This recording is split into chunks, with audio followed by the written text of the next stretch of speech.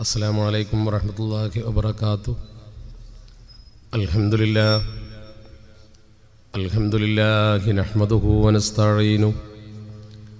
ونؤمن به ونتوكل عليه ونعوذ بالله من شرور أنفسنا ومن سيئات أعمالنا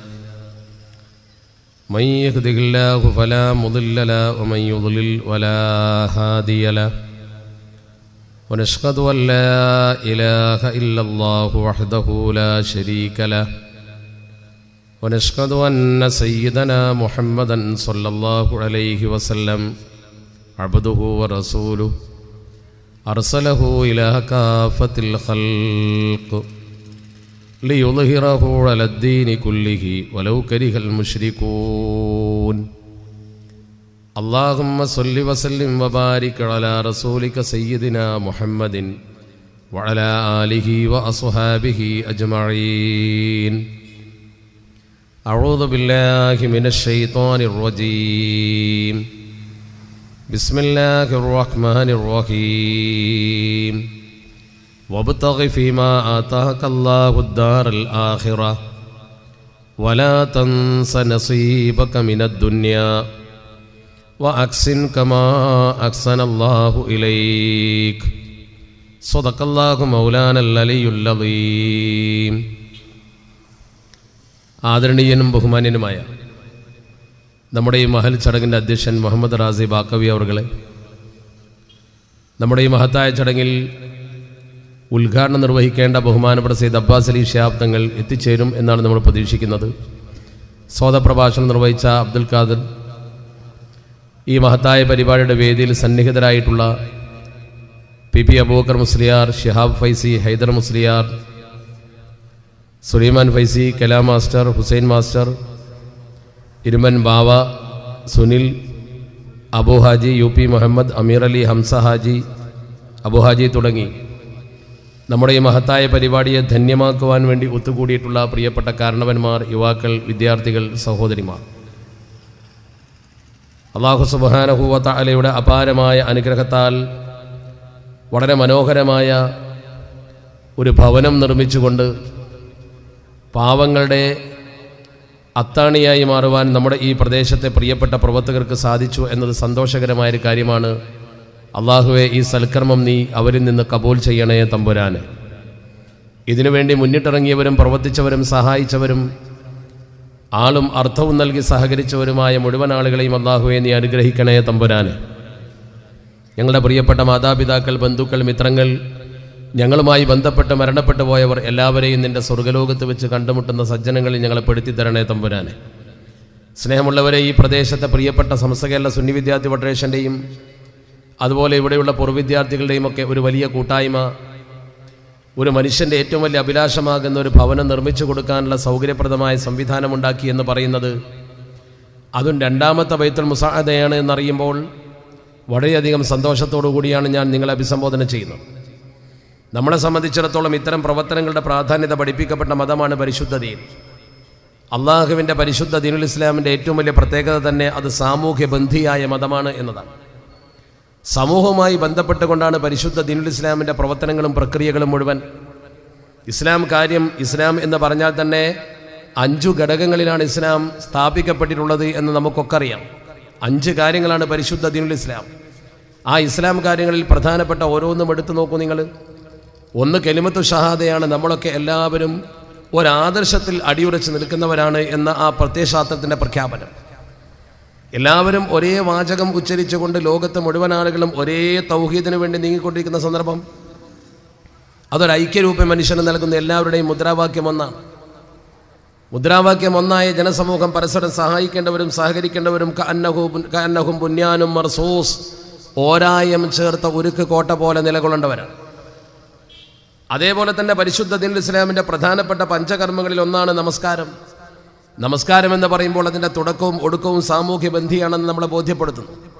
തെക്കുബീർ കെട്ടി നിസ്കാരം തുടങ്ങുമ്പോൾ തന്നെ ഇയാക്കൻ അഴുതു എന്ന് പറയുമ്പോൾ നിന്നെ ഞങ്ങൾ ആരാധിക്കുന്നു എന്നാണ് അതിൻ്റെ അർത്ഥം ഞാൻ ആരാധിക്കുന്നു എന്ന പ്രക്രിയ അല്ലെങ്കിൽ അങ്ങനെ ഒരു പ്രഖ്യാപനമില്ല ഒറ്റക്ക് നിസ്കരിക്കുന്നവനും കൂട്ടായി നിസ്കരിക്കുന്നവനും ചെറിയ ജമാഅത്തിലും വലിയ ജമാഅത്തിലും ഒക്കെ പ്രയോഗമെന്നാണ് ഞങ്ങൾ ഈയാക്കൻ അഴുതു നമ്മളെന്ന ഒരു പ്രയോഗമാണ് അവിടെ പ്രയോഗിക്കപ്പെടുന്നത് ഈ പ്രയോഗത്തിൻ്റെ അന്തരാർത്ഥത്തെ വിശദീകരിച്ചുകൊണ്ട് മഹാനായ ഇമാം റാസി തങ്ങൾ തൻ്റെ തഫ്സീറുൽ കബീർ ഉദ്ധരിച്ചത് ഇങ്ങനെ ഒരാൾ പറഞ്ഞാൽ തന്നെ അതൊരു സാമൂഹ്യ ബന്ധിയായ പ്രഖ്യാപനമാണ് മുസ്ലിം സമാജത്തിൻ്റെ പൊതുകാര്യത്തിൽ പരിശ്രമിച്ചവനെ പോലെയാണവൻ എന്ന് പറയുമ്പോൾ സമൂഹത്തിന് വേണ്ടി മൊത്തം പ്രവർത്തിച്ച വികാരമാണത് അത്തഹിയാത്തോതി നമസ്കാരത്തിൽ നിന്ന് വിട ചോദിക്കുമ്പോൾ ഓരോരുത്തരും പറയും അസ്സലാമു അലൈന വഅലാ ഇബാദില്ലാഹി സ്വാലിഹീൻ അസ്സലാമു അലൈന അള്ളാഹുവിൻ്റെ രക്ഷ നമുക്ക് ഭവിക്കട്ടെ പോരാ വഅല ഇബാദില്ലാഹി എല്ലാ അടിമകൾക്കും അള്ളാഹുവിൻ്റെ ഗുണമുണ്ടാകട്ടെ എന്ന് പ്രാർത്ഥിച്ചുകൊണ്ടാണ് നമസ്കാരത്തിൽ നിന്ന് വിട ചോദിക്കുന്നത് ഇത് അർത്ഥമാക്കുന്നത് മനുഷ്യൻ്റെ ഇബാദത്തുകൾ പോലും സാമൂഹ്യ ബന്ധിയായ ഒരു കടമയാണ് നമ്മൾ നിസ്കരിച്ചാൽ മറ്റുള്ളവന് കൂടി ഗുണം കിട്ടുകയാണ് മറ്റൊന്ന് നോമ്പാണ് ഇസ്ലാമിൻ്റെ പഞ്ചകാര്യങ്ങളിൽ ഒന്ന് നോമ്പാണല്ലോ ഒരു മനുഷ്യൻ നോമ്പ് നിർവഹിക്കാൻ ഇസ്ലാമിൽ കടപ്പെട്ടവനാണ് അവൻ്റെ കടമയാണ് ചുമതലയാണ് ബാധ്യതയാണ് നിർബന്ധമാണ് പക്ഷെ ഒരാൾ രോഗം ബാധിച്ച് ബുദ്ധിമുട്ടിലായി ഒരു ബിഷഗുരനെ സമീപിച്ചപ്പോൾ ഡോക്ടർ പറഞ്ഞു നിന്റെ ശാരീരിക പ്രകൃതി വെച്ചുകൊണ്ട് നീ നോമ്പ് നോക്കാൻ പാടില്ല അവനോട് മതം പറഞ്ഞു നീ നോമ്പ് നോക്കേണ്ടതില്ല പക്ഷെ നിനക്ക് നോമ്പ് നോൽക്കാൻ കഴിയില്ല നോറ്റുവിട്ടാനാവാത്തൊരു ഗതിയാണുള്ളതെങ്കിൽ നീ ചെയ്യേണ്ടത് ഒരു ദിനത്തെ നോമ്പിന് ഒരു മുദ്ദ് ധാന്യം പാവപ്പെട്ടവന് ധർമ്മം കൊടുക്കണം എണ്ണൂറ് മില്ലി ലിറ്റർ അറുന്നൂറ്റി ഇരുപത്തിയഞ്ച് ഗ്രാം ധാന്യം നാട്ടിലെ ഓലിബ് കൂത്തൽ വലതെന്ന് പറയുന്ന ഗോതമ്പോ നമ്മുടെ നാടിനെ സംബന്ധിച്ചിടത്തോളം അരിയോ എടുത്തുകൊണ്ടൊരു പാവപ്പെട്ടവന് തിന്നാൻ കൊടുക്കണം വേറൊരാൾ കൊണ്ട് നമ്മൾ കൊടുക്കുന്ന അരി കൊണ്ട് കഞ്ഞി വെച്ച് കുടിച്ചാൽ എങ്ങനെ നമ്മുടെ നോമ്പാകും ആകുമെന്നാണ് മതം പറയുന്നത് ആകുമെന്നാണ് മതം പഠിപ്പിക്കുന്നത് ഒരു സാധു അന്നമുണ്ടാൽ നമ്മുടെ നോമ്പായി നമ്മൾ അവന് കൊടുത്ത മുദ്ദ നമ്മുടെ നോമ്പിന്റെ സ്ഥാനത്ത് ഭവിക്കുമെന്ന് പരിശുദ്ധ ദീൻ പഠിപ്പിച്ചു അവിടെ സാമൂഹ്യ ബന്ധിയാണ് ദീൻ മറ്റൊരാൾക്ക് ധർമ്മം കൊടുത്തിട്ട് നമ്മുടെ പ്രശ്നം പരിഹരിക്കുന്നതാണ് ജക്കാത്ത് എന്ന് പറഞ്ഞാൽ ഞാൻ ഉണ്ടാക്കി വെച്ച പണമെന്ന് നമ്മൾ പറയും പക്ഷേ പണം നമ്മുടേതല്ല മുസ്തഖലഫീനഫീഹിയാണ് പ്രാതിനിധ്യ സ്വഭാവമുള്ളതാണ് പണമെങ്കിലും അത് ഉണ്ടാക്കാൻ വേണ്ടിയുള്ള അധ്വാനം നമ്മൾ ഒരുപാട് നടത്തിയിട്ടുണ്ട് ഒന്നുകിൽ കൃഷി അല്ലെങ്കിൽ കഠിനാധ്വാനം അതല്ലെങ്കിൽ വിദേശത്ത് ജോലി എന്താവട്ടെ ഇനി സർക്കാർ ജോലിയാണെങ്കിലും പള്ളിയിലെ ജോലിയാണെങ്കിലും എന്ത് ജോലിയാണെങ്കിലും നമ്മൾ കൃത്യമായി ശമ്പളം വാങ്ങിയോ അല്ലെങ്കിൽ കൃഷി ചെയ്ത് വരുമാനം ഉണ്ടാക്കിയോ കച്ചവടം ചെയ്തോ പണമുണ്ടാക്കുന്നു നിശ്ചിത അളവെത്തിയാൽ ശമ്പളക്കാരനാണെങ്കിലും ശരി കൃഷിക്കാരനാണെങ്കിലും ശരി ആരാണെങ്കിലും അവൻ്റെ ബാങ്ക് ബാലൻസ് ഒരു നിശ്ചിത അളവിലെത്തി കഴിഞ്ഞാൽ രണ്ടര ശതമാനം സക്കാത്ത് കൊടുത്തു കൊള്ളണം നമ്മുടെ സമൂഹത്തിൽ ബഹുഭൂരിപക്ഷം ആളുകളും ഇന്ന് സക്കാത്ത് കൊടുക്കാൻ ബാധ്യസ്ഥരാണ് ഈ സക്കാത്ത് കൊടുക്കുന്നത് പാവപ്പെട്ടവൻ്റെ കയ്യിലേക്ക് നമ്മുടെ പണം അങ്ങ് ഏൽപ്പിച്ചു കൊടുക്കുകയാണ് എൻ്റെ നൂറ് രൂപയുടെ രണ്ടര രൂപ ഞാൻ അവനെ തെരഞ്ഞു പിടിച്ചു കൊടുക്കണം അപ്പോൾ അതും സമൂഹവുമായി ബന്ധപ്പെട്ടതാണ് എൻ്റെ സമ്പത്ത് ശുദ്ധീകരിക്കണമെങ്കിൽ പാവപ്പെട്ടവൻ്റെ കയ്യിൽ അത് എത്തിച്ചു കൊടുക്കണം ഇത് ഇസ്ലാമിൻ്റെ മാനദണ്ഡമാണ് പരിശുദ്ധമായ ഹജ്ജ് കർമ്മമോ ഹജ്ജ് കർമ്മം ഇസ്ലാമിന്റെ പഞ്ചസ്തംഭങ്ങളിൽ അതിപ്രധാനമാണ് വിശുദ്ധ ഹറം ഷരീഫിൽ ചെന്നുകൊണ്ടും അഷായറുകൾ ചെന്നുകൊണ്ടും ചെയ്യുന്ന ഈ പ്രവർത്തനത്തിൽ ഹജ്ജ് എന്ന് പറയുന്ന കർമ്മത്തിൽ വീഴ്ച വന്നാൽ പ്രത്യേകിച്ച് ഹജ്ജിന്റെ കർമ്മങ്ങളിൽ വാജിബാത്തിൽ ഏതെങ്കിലും ഒന്ന് നട്ടപ്പെട്ടു പോയാൽ ഒരു ഉദാഹരണം ഹജ്ജിന്റെ കർമ്മത്തിൽ അതിപ്രധാനമാണ് മുസ്ദലിഫയിൽ രാപ്പാർക്കൽ അബദ്ധവശാൽ അവന് മുസ്തലിഫിലേക്ക് പോകാൻ പറ്റിയില്ല അന്ന് അവന് സാധിച്ചില്ല എങ്കിൽ അവൻ എന്തു ചെയ്യണം ഇസ്ലാം പറയുന്ന ഒരു ആടിന് അറുത്ത് ധർമ്മം ചെയ്ത് പ്രശ്നം പരിഹരിക്കണം നമ്മുടെ നാടിനടുത്തൊരു പാവപ്പെട്ടവനെ ഇറച്ചി ഊട്ടിയാൽ നമ്മുടെ നോ നമ്മുടെ ഹജ്ജാകുമെന്ന് പറഞ്ഞാൽ എന്താണ് അതിൻ്റെ അർത്ഥം മറ്റുള്ളവനെ സഹായിക്കുമ്പോൾ നമ്മുടെ ദീനായി മാറുകയാണ് മറ്റൊരാൾക്ക് സഹായം ചെയ്യുമ്പോൾ അത് ഇബാദത്തായി മാറുകയാണ് ഇത് ഇബാദത്തുമായി ബന്ധപ്പെട്ട ഇസ്ലാം കാര്യവുമായി ബന്ധപ്പെട്ട വിഷയമാണെങ്കിൽ ഓർക്കണം നിങ്ങൾ അതിലൊക്കെ ഉപരി അള്ളാഹു നമ്മളോട് പറഞ്ഞിട്ടുണ്ട് ഇന്നമാ തുൻസറൂനവ തുർസക്കൂനബി ഇന്നമാ തുൻസറൂനവ തുർസക്കൂനബി നിങ്ങൾക്ക് അള്ളാഹു സഹായം നൽകുന്നത് നിങ്ങളുടെ കൂട്ടത്തിലെ ദുർബല ജനവിഭാഗത്തെ നിങ്ങൾ പരിഗണിക്കുന്നതുകൊണ്ടാണ് പാവപ്പെട്ടവനുള്ളത് കൊണ്ടാണ് സമ്പന്നൻ അള്ളാഹു സൗകര്യം നൽകുന്നത് ഈ ലോകം തന്നെ നിലനിൽക്കുന്നത് പ്രധാനപ്പെട്ട നാലു കാര്യങ്ങളിലാണ് പരിശുദ്ധ ദീൻ നമ്മളെ പഠിപ്പിച്ചു കിവാമുദ്ദുന്യാബി അർബഅത്തി അഷിയാ കിവാമുദ്ദുന്യ ലോകത്തിന്റെ നിലനിൽപ്പ് തന്നെ ബി അർബഅത്തി അഷിയാ നാല് തൂണിലാണ് ഈ സ്റ്റേജ് നാല് തൂണിൽ നിർഭരമായി നിൽക്കുന്നത് പോലെ നാല് തൂണിൽ ഒരു വലിയ കെട്ടിടം നിർമ്മിക്കും പോലെ അള്ളാഹുവിന്റെ പരിശുദ്ധ തിരുദൂതർ പഠിപ്പിക്കുന്നു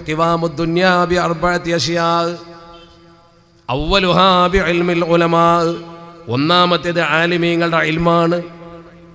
വിവരമുള്ള പണ്ഡിതന്മാർ സമൂഹത്തിലുള്ളപ്പോൾ സമൂഹത്തിൽ ശരിക്ക് ദീൻ നിലനിൽക്കുമ്പോൾ അപ്പോൾ ലോകം നിലനിൽക്കും ലോകത്തിൻ്റെ നിലനിൽപ്പിൽ വിവരമുള്ള ആളുകൾക്ക് വലിയ പങ്കുണ്ട് രണ്ടാമത്തേതോ ബി സഹാവത്തിൽ അഗ്നിയാ സമ്പന്നന്മാരുടെ ഔദാര്യം അള്ളാഹു നിങ്ങൾക്ക് തന്ന പണത്തിൽ നിന്ന് നല്ലതിന് വേണ്ടി ചെലവഴിക്കുന്ന മനസ്സുണ്ടോ അതില്ല മുഴുവൻ ആളുകളും പിശുക്കന്മാരായി തന്നിലേക്ക് ചുരുങ്ങിയാൽ ലോകം നിലനിൽക്കില്ല ലോകത്തിൽ പുരോഗതി ഉണ്ടാവില്ല ലോകം പുറകോട്ട് പോകും മൂന്നാമത്തേത് ബി അതിലിൽ ഉമറാ നാട്ടിലെ നേത്രരംഗത്ത് പ്രവർത്തിക്കുന്ന ആളുകൾ നീതി ചെയ്യണം അധികാരസ്ഥാനത്ത് വന്ന ആളുകൾ ഭരണാധികാരികൾ നീതി പ്രവർത്തിക്കണം ഉത്തരവാദപ്പെട്ട പോസ്റ്റിൽ ഇരിക്കുന്ന ആളുകൾ നീതിപൂർവ്വം പെരുമാറണം നാലാമത്തേത് ദഴുവത്തിൽ ഫുഖറാ പാവപ്പെട്ട മനുഷ്യൻ്റെ ഉള്ളഴിഞ്ഞ പ്രാർത്ഥന സാധുക്കളെ പ്രാർത്ഥന കൊണ്ട് ലോകം നിലനിൽക്കും മറ്റൊരു ഹദീഥുണ്ട് ലൗലാ ദ്വാ ഉൽ ഫൊക്കറ ഇല്ല ഹലക്കൽ പാവപ്പെട്ടവൻ്റെ പ്രാർത്ഥന ഇല്ലായിരുന്നുവെങ്കിൽ സമ്പന്നൻ നശിച്ചു പോകുമായിരുന്നു സമ്പത്തുള്ളവൻ നശിക്കും പാവപ്പെട്ടവൻ്റെ പ്രാർത്ഥനയില്ലെങ്കിൽ അവ പാവപ്പെട്ടവൻ്റെ ഈ ഭൂമുഖത്തെ സാന്നിധ്യം സമ്പന്നന് വലിയ ആശ്വാസം പകരുന്നുണ്ട് നമ്മളൊക്കെ നമ്മുടെ പണം നമ്മുടെ പണം എന്ന് പറഞ്ഞ് അഭിമാനിക്കും ഞാൻ അധ്വാനിച്ചുണ്ടാക്കിയതാണ് ഞാൻ കട്ടപ്പെട്ട് കൃഷി ചെയ്തതാണ് ഞാൻ സേവനം ചെയ്തിട്ട് എനിക്ക് കിട്ടിയ പണമാണെന്നൊക്കെ പറഞ്ഞ് അഭിമാനിക്കും പക്ഷേ അള്ളാഹു പറയുന്നത് നിങ്ങളുടെ പണം നിങ്ങളുടേതല്ല അത് മുസ്തഖലഫീ നഫീഹിയാണ്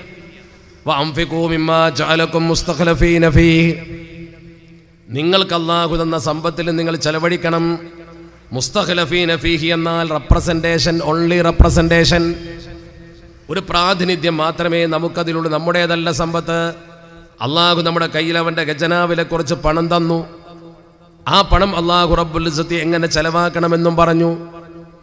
ആ പണം നമ്മുടെ കയ്യിലുള്ളപ്പോൾ ചിന്തിക്കണം അതിൽ ബാധ്യതയുണ്ട് ആ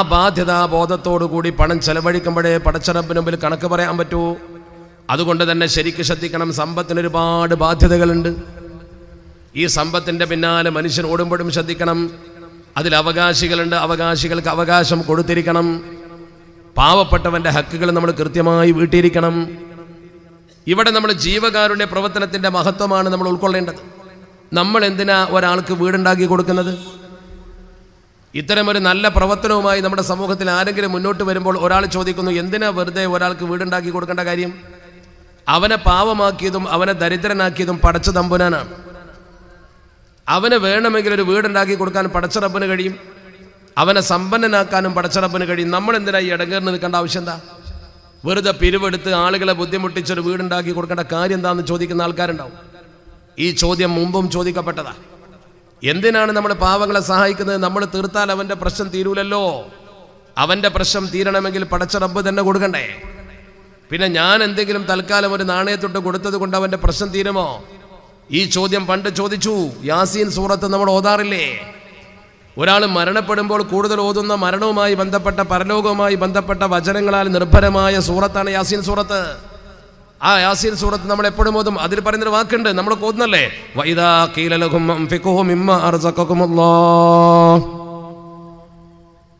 قال الذين كفروا للذين آمنوا അള്ളാഹുവിന്റെ പരിശുദ്ധ ഖുർആൻ വളരെ മനോഹരമായ ഭാഷയിൽ പഠിപ്പിക്കുന്നു നമ്മളെ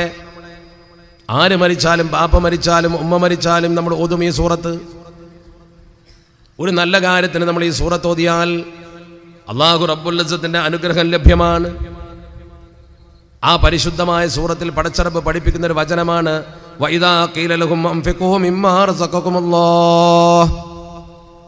നിങ്ങൾക്കല്ലാഹു തന്നതിൽ നിന്ന് അവന്റെ ഔദാര്യത്തിൽ നിന്ന് ചെലവഴിക്കണേ എന്ന് അവരോട് പറഞ്ഞാൽ ദരിദ്രന്മാരായ ആളുകൾക്ക് നിങ്ങൾ വല്ലതും കൊടുക്കണമെന്ന് പറഞ്ഞാൽ ജീവകാരുണ്യ പ്രവർത്തനത്തിന് നിങ്ങൾ വല്ലതും സംഭാവന ചെയ്യണമെന്ന് പറഞ്ഞാൽ കാലല്ലദീന കഫർ ഉലില്ലദീന ആമനു സത്യവിശ്വാസികളോട് സത്യനിഷേധികൾ പറയും നല്ലവരായ മനുഷ്യരോട് മറ്റുള്ളവർ പറയും ഈ നന്മ ചെയ്യാത്ത മനസ്സിലേക്ക് നന്മ കടക്കാത്തവർ പറയും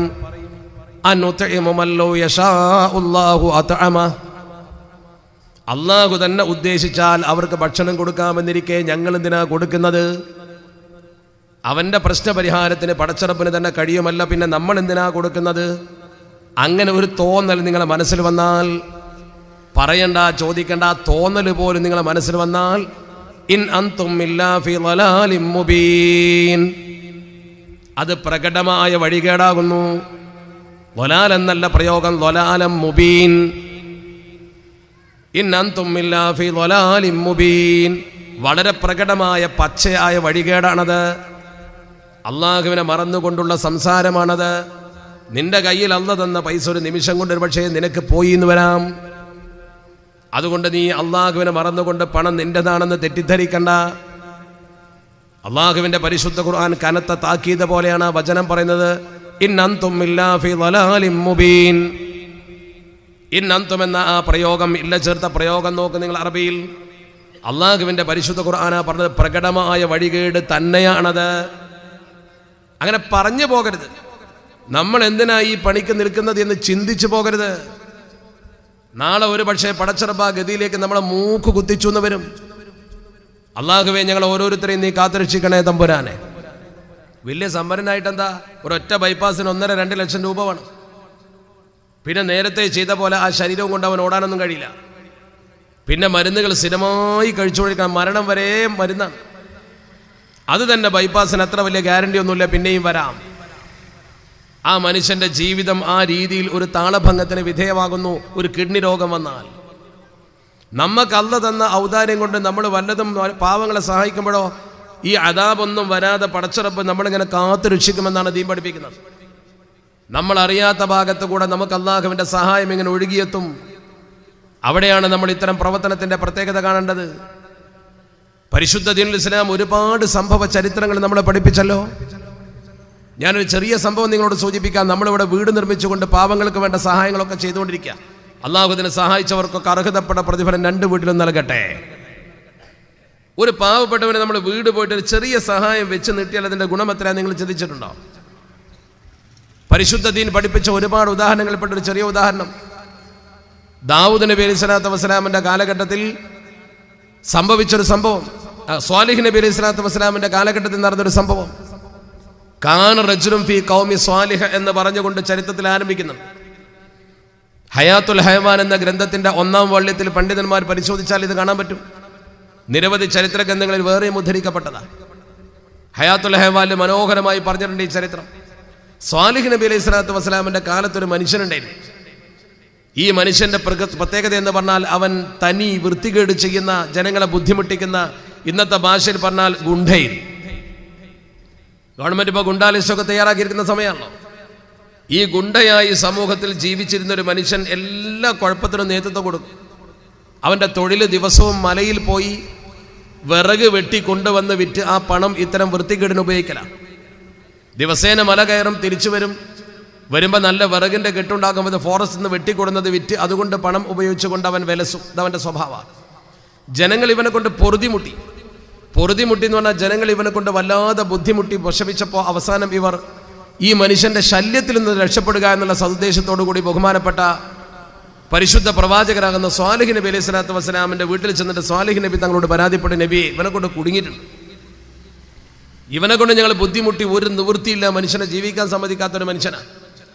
ലാലിമാണവൻ വലിയ ബുദ്ധിമുട്ട് അവൻ ഉണ്ടാക്കുന്നു ഇവന്റെ ഷെറിൽ നിന്ന് രക്ഷ നേടണമെന്ന് പറഞ്ഞു മഹാനായ സ്വാലിഹ് നബി അലൈഹി സ്വലാത്തു വസ്സലാം റബ്ബിനോട് ദുആ ചെയ്തു അള്ളാഹു റബ്ബുലിസത്ത് സ്വാലിഹ് നബി തങ്ങൾക്ക് വഹി കൊടുത്തു ഓന്റെ അവസാനം നാളെയാണ് നാളെയും കൂടി മാത്രമേ അവൻ ജീവിച്ചിരിക്കൂ മറ്റന്നാൾ അവൻ ഉണ്ടാവില്ല അതുകൊണ്ട് ഒരു ദിവസം അവരോട് ക്ഷമിക്കാൻ പറ സ്വാലിഹ് നബി തങ്ങൾ ജനങ്ങളെ കൂടെ വിളിച്ചു കൂട്ടിയിട്ട് പറയും ഇത് ഹബോ ഫകത്ത് നിങ്ങൾ ആവശ്യമൊക്കെ നേടിയിട്ടുണ്ട്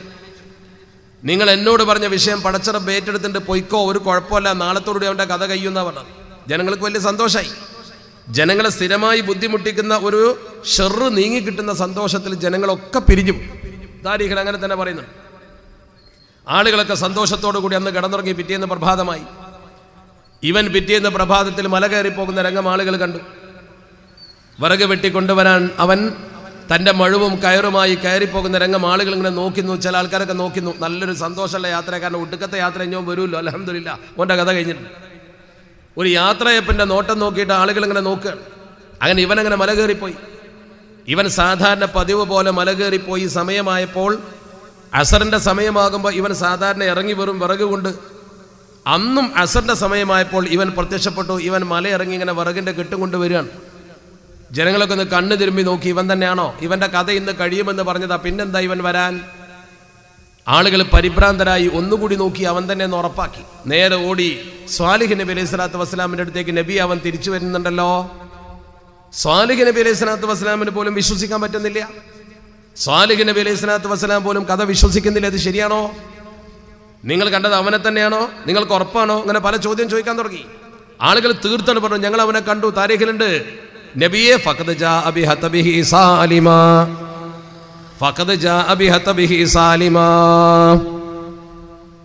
അവനവന്റെ വിറകിന്റെ കെട്ടും കൊണ്ട് സുരക്ഷിതനായി കടന്നു വരുന്നുണ്ട് നബിയെ അവന്റെ വിറകിന്റെ കെട്ടും കൊണ്ട് അവൻ ശരിക്കും വരുന്നുണ്ട് ഒരു കുഴപ്പമില്ല നബിയും പരിഭ്രാന്തനായി അപ്പൊ പരിശുദ്ധ പ്രവാചകർ സ്വാലിഹ് നബി തങ്ങൾ പറഞ്ഞ പത്രങ്ങൾ ഓനൊന്ന് വിളിക്കോ ആളുകൾ ചെന്ന് അവനെ വിളിച്ചു വിളിച്ചപ്പോൾ അവൻ വന്നു നബി തങ്ങളുടെ മുമ്പിൽ വിറകിന്റെ കൊട്ടും കൊണ്ട് അവൻ വന്നു നബി വിളിക്കുന്നുണ്ടപ്പോൾ വന്നു എത്ര ഗുരുത്തം കെട്ടവനാണെങ്കിലും വന്നു അവൻ കാരണം പ്രവാചകൻ അവൻ നേരിട്ടൊന്നും വിളിക്കാറില്ല ആദ്യമായിട്ട് വിളിക്കുക അവൻ വന്നു നിന്നപ്പോൾ മഹാനായ സ്വാലിഹ് നബി തങ്ങൾ അവനോട് ചോദിച്ചു മാതാ സൊനത്തല്യവും ഇന്ന് നീ എന്താ ചെയ്തത് ഞാൻ സാധാരണ വറുക് കെട്ട് ചുമന്ന് കൊണ്ടുവരുന്നതിന് വേണ്ടി കയറും അതുപോലെ തന്നെ മഴവും എടുത്ത് നേരെ പോകും കാട്ടിലേക്ക് ഞാൻ ഇന്നും പോയി അതല്ല ഇന്നത്തെ നിന്റെ ജീവിതത്തിൽ സാധാരണ നീ ചെയ്യുന്നതിൽ നിന്ന് വ്യത്യസ്തമായ എന്തോ സംഭവിച്ചിട്ടുണ്ട് എന്ന് അവൻ പറഞ്ഞില്ല ഒന്നും സംഭവിച്ചില്ല ഞാൻ സാധാരണ പോലെ രാവിലെ വറുകിട്ട് ചുമന്ന് കൊണ്ടുവരാൻ വേണ്ടി വിറകുണ്ടാക്കാൻ വേണ്ടി കാട്ടിലേക്ക് പോയി വിറകുണ്ടാക്കി തിരിച്ചു വന്നു വേറൊന്നുമില്ല അവനെ വിട്ടില്ല എന്തോ ഒന്ന് എന്നുമുള്ളതിൽ നിന്ന് വ്യത്യസ്തമായി എത്ര ചെറുതാണെങ്കിലും ചിന്തിച്ചു നോക്ക് ചിന്തിച്ചിട്ട് പറഞ്ഞാൽ മതി എന്നൊക്കെ പറഞ്ഞ് അവനെ പ്രേരിപ്പിച്ചു അപ്പോൾ അവൻ ഒന്നിങ്ങനെ ആലോചിച്ചിട്ട് അവൻ പറഞ്ഞു ഒരു ചെറിയ സംഭവമുണ്ട് എന്നും രാവിലെ ഞാൻ വിറക് ശേഖരിക്കുന്നതിന് വേണ്ടി കാട്ടിലേക്ക് പോകുന്ന സന്ദർഭത്തിൽ എൻ്റെ വീട്ടിൽ നിന്ന് ഇറങ്ങുമ്പോൾ രണ്ട് വലിയ റൊട്ടി ഉണ്ടാക്കി അത് തിന്നിട്ടാണ് ഞാൻ സാധാരണ പോകാറുള്ളത് രണ്ട് റൊട്ടി ഞാൻ കഴിക്കും ആ രണ്ട് റൊട്ടി എന്ന് പറഞ്ഞാൽ നമ്മുടെ നാട്ടിലെ പീസ് ബ്രെഡ് അല്ല അറബികൾ കഴിക്കുന്ന നമ്മളൊക്കെ സാധാരണ ഇതിൽ ഹുബൂസ് എന്ന് പറയുന്ന സാധനം ഹുബുസ് ആണത് ശരിക്ക് ഹുബുസ് കുറച്ച് നീണ്ടതാണ് ഹുബൂസ് ആയതാ ഈ ഹുബുസ് എന്ന് പറയുന്ന സാധനം അത് വലിയത് അത് രണ്ടെണ്ണം ഞാൻ ശരിക്ക് കഴിച്ച് വയറ് നിറച്ചിട്ടാണ് ഞാൻ സാധാരണ പോകാറുള്ളത് ആ ഒരു ഹുബുസ് ഞാൻ തിന്ന് രണ്ടാമത്തെ ഹുബുസ് ഞാൻ കയ്യിലെടുത്തപ്പോൾ എൻ്റെ വീട്ടിൻ്റെ വാതിൽക്കൽ ഒരു മുട്ട് കേട്ടു ഞാൻ ചെന്ന് നോക്കുമ്പോൾ ഒരു ദരിദ്രൻ അവൻ ഭക്ഷണം കഴിച്ചിട്ട് ദിവസങ്ങളോളമായിട്ടുണ്ട് അവൻ്റെ വയറും അവൻ്റെ പെരുമാറ്റവും അവൻ്റെ ചോദ്യമൊക്കെ കേട്ടപ്പോൾ എൻ്റെ മനസ്സലിഞ്ഞു പോയി എത്ര ക്രൂരനാണെങ്കിലും അങ്ങനെയാണല്ലോ ഞാൻ ഒരു റൊട്ടി തന്നിട്ടുണ്ട് ഇവൻ കുറേ ദിവസമായി തന്നിട്ട് ഞാൻ ആ റൊട്ടി അവനങ്ങ് കൊടുത്തു ഞാൻ അരവയറുമായിട്ടാണ് ഇന്ന് പോയത് എന്നും ഞാൻ വയറ് നിറച്ച് രണ്ട് റൊട്ടി തിന്നിട്ടാണ് പോകാറുള്ളത് ഈ ഒരു വ്യത്യാസം മാത്രമേ ഇന്നുള്ളൂ ഇത് കേട്ടതോടുകൂടി ബഹുമാനപ്പെട്ട സ്വാലിഖ് നബി അലൈഹി സ്വലാത്തു വസ്സലാം പറഞ്ഞു നിന്റെ ആയുസിന്റെ കാരണം അതാണ് അത് ജനങ്ങൾക്ക് മനസ്സിലാക്കി കൊടുക്കുവാൻ അള്ളാഹുവിനോട് അദ്ദേഹം ആവശ്യപ്പെടുമ്പോൾ അള്ളാഹു റബ്ബുലിസത്ത് സ്വാലിഹ് നബി തങ്ങൾക്ക് വഹി കൊടുക്കുന്ന സ്വാലിഹ് നബിയെ സംഗതി ഇങ്ങനെയൊക്കെയാണ് അള്ളാഹുവിൽ നിന്നുള്ള വഹി അനുസരിച്ചുകൊണ്ട് സ്വാലിഹ് നബി ജനങ്ങൾക്കത് മനസ്സിലാക്കി കൊടുക്കാൻ വേണ്ടി അള്ളാഹു കൽപ്പിച്ചത് പ്രകാരം അവനോട് പറഞ്ഞു ഹല്ല ഹത്തബക്ക ആ വിറകിന്റെ കെട്ടൊന്ന് അഴിക്കോന്ന് വെച്ചു ഓ അഴിക്കാലോ അവൻ വിറകിന്റെ കെട്ടഴിച്ചു കെട്ടഴ പൊട്ടിച്ചപ്പോൾ ഈ ഉരുണ്ട മരത്തടികൾ ചെറുത് അതിൻ്റെ ഉരുണ്ട് മാറി അത് ഉരുണ്ടു മാറിയപ്പോൾ താരീഖിൻ്റെ കിതാബിൽ മനോഹരമായി രേഖപ്പെടുത്തുന്നു ആ ഒരു തണ്ടന്മേൽ അഥവാ ഒരു വിറകിൻ്റെ ഉള്ളിലുള്ള ഒരു തണ്ടന്മേൽ ഓലുൻ അല ജുതയിൽ ഹത്തബി എന്നാണ് പറഞ്ഞ വാചകം ആദ്യം ഇങ്ങനെ ചുറ്റിപ്പണിഞ്ഞൊരു പാമ്പ് ഫൈദാഹിയ അസ്വദുൻ സാലിഹ് ഒരു കരിമൂർക്കൻ പാമ്പ് സ്പ്രിങ് പോലെ പൊങ്ങി വന്നിങ്ങനെ ആടി താരീഖിൻ്റെ കിതാബിൽ ഈ സംഭവമുണ്ട് മനോഹരമാണ് കെട്ടുകഥയല്ല ഒരു സർപ്പം നേരെ തലപ്പൊക്കിയിട്ട് ഇങ്ങനെ നിന്നു ആളുകൾ പേടിച്ചു പോയി കരിമൂർഖൻ പാമ്പെന്ന് പറഞ്ഞാൽ ഒറ്റക്കുത്തിന് ആൾ മൗത്താകും അത്ര വലിയ വിഷമുള്ള വിഷം തീണ്ടാൻ കെൽപ്പുള്ള ജീവിയാണത് വിഷമേൽപ്പിക്കാൻ കെൽപ്പുള്ള ജീവിയാണത് ആ രീതിയിൽ കിങ്കോബ്ര ഇനത്തിൽപ്പെട്ട ഒരു പാമ്പ് കരിമൂർഖൻ ഇങ്ങനെ തലപൊന്തിച്ചു നിന്നു മഹാനായ സ്വാലിഹി നബി തങ്ങൾ ജനങ്ങൾക്ക് പറഞ്ഞു കൊടുത്തു ജനങ്ങളെ ഈ മനുഷ്യന്റെ ജീവൻ കളയാൻ പടച്ചറപ്പുണ്ടാക്കി വെച്ച ഒരു സബബാണത് അവൻ കാട്ടിൽ നിന്ന് വിറക് വെട്ടി ശേഖരിച്ച് വിറകുകൾ കൂട്ടി ഓരോന്നെടുത്ത് കൊണ്ടുവരുമ്പോഴേക്കും ഒന്നിന്മേൽ ഇത് ചുറ്റിപ്പണഞ്ഞ് കഴിഞ്ഞിരുന്നു അള്ളാഹുവിൻ്റെ കൽപ്പന പ്രകാരം അവൻ വിറകും കെട്ടുമായി നീങ്ങുമ്പോൾ അവനെ കൊത്തുകയും വിറകോടെ അവൻ അന്ത്യവിശ്രമം കൊള്ളുകയും ചെയ്യും കാട്ടിലെവിടെയോ അവൻ്റെ ജഡം പോകും നിങ്ങളെ ദുഃഖിപ്പിച്ച നിങ്ങളെ പ്രയാസപ്പെടുത്തിയ മനുഷ്യനെ പരലോകത്തയക്കാൻ പടച്ചിറപ്പുണ്ടാക്കി വെച്ച സംവിധാനമാണത് പക്ഷേ ഇന്നിൻ്റെ പ്രഭാതത്തിൽ അവൻ പുറപ്പെടുന്നതിൻ്റെ മുമ്പ് ഒരു പാവപ്പെട്ടവനെ ഊട്ടി ഒരു റൊട്ടി ധർമ്മം കൊടുത്തു ഒരു റൊട്ടി ധർമ്മം കൊടുത്തു ആ ഒരു റൊട്ടി കൊടുത്ത ധർമ്മത്തിന്റെ ഫലമായി പടച്ചറപ്പിന്റെ ദർബാറിലേക്ക് ഈ റൊട്ടി കഴിച്ച മനുഷ്യന്റെ പ്രാർത്ഥന ചെന്നു ആ പ്രാർത്ഥന കൊണ്ട് പടച്ചറപ്പ് തീരുമാനിച്ചു ഇന്ന് ഇവനെ ഒരിക്കലും നശിപ്പിക്കാൻ പാടില്ല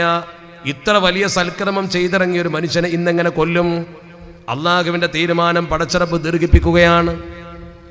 അള്ളാഹുവിന്റെ തീരുമാനം പടച്ചറപ്പ് ദീർഘിപ്പിക്കുകയാണ് ഈ മനുഷ്യന്റെ ദാനം കൊണ്ടാണ് ഇവന് ഇന്ന് ഈ ദീർഘായുസ് ലഭിച്ചത് എൻ്റെ ശബ്ദം കേൾക്കുന്ന പ്രിയപ്പെട്ട സഹോദരങ്ങളും സഹോദരിമാരും ചിന്തിച്ചോ ഒരു ബൈത്തുർ ഒരു ബൈത്ത് നിർമ്മിച്ചു കൊടുക്കുന്ന വീട് നിർമ്മിച്ചു കൊടുക്കുന്ന നല്ല വീട് നിർമ്മിച്ചു കൊടുക്കുന്ന ഒരു പദ്ധതി ബൈത്തുൽ മുസാദ ആ ബൈത്തുൽ മുസാദ നിർമ്മിച്ചു കൊടുക്കുമ്പോൾ നിങ്ങൾ ഓർക്കണം ഒരു റൊട്ടി കൊടുത്ത മനുഷ്യനാണ് ദീർഘിച്ച ആയുസ് കിട്ടിയത് അങ്ങനെയെങ്കിൽ എന്നും ഒരു മനുഷ്യന് താമസിക്കാൻ ഉപകരിക്കുന്ന മനോഹരമായ ഒരു വീട് കൊടുത്താൽ ആ വീടിൻ്റെ ഉടമ പടച്ചറപ്പിനോട് ദ്വാ ചെയ്യുമ്പോൾ അതിൻ്റെ പ്രതിഫലം എത്രയാ നമുക്ക് അതിൻ്റെ ഗുണഫലം എത്രയാണ് നമുക്ക് കിട്ടുന്നത് ആ ഗുണഫലം തീർച്ചയായും ഇതിന് സഹകരിച്ചവർക്ക് സഹായിച്ചവർക്ക് മുന്നിട്ടിറങ്ങിയവർക്ക് ജീവിതത്തിൽ വളരെ വലിയ ഉപകാരമായി ഭവിക്കുമെന്നതിൽ ആർക്കുണ്ട് തർക്കം അഭിമാനിക്കാനല്ല പത്രത്തിൽ വരാനല്ല മേനി നടിക്കാനല്ല മറിച്ച് പരലോകത്ത് നിങ്ങൾക്ക് ഇതിൻ്റെ ഫലം കിട്ടും എങ്ങനെ ഈ താക്കോൽ ഇവിടെ ബഹുമാനപ്പെട്ട തങ്ങൾ കൊടുക്കും നമ്മൾ ഈ താക്കോല് നേരത്തെ ഒന്നിൻ്റെത് കൊടുത്തു ഈ താക്കോല് കൈനീട്ടി വാങ്ങാൻ ഒരാളിവിടെ വരും അള്ളാഹുവിന്റെ ഭൂമിയിൽ സ്വന്തമായി സ്ഥലവും സ്വന്തമായി സൗകര്യവും സ്വന്തമായി പണവും ഉണ്ടെങ്കിൽ ഒരാളും എവിടെയും കൈനീട്ടി വാങ്ങാൻ പോകൂല നേരെ മറിച്ച് ജീവിതത്തിൻ്റെ രണ്ടറ്റം മുട്ടിക്കാൻ കഴിയായക കൊണ്ടാണ് ഒരു മനുഷ്യൻ കൈനീട്ടി നമ്മുടെ മുമ്പിൽ വരുന്നത്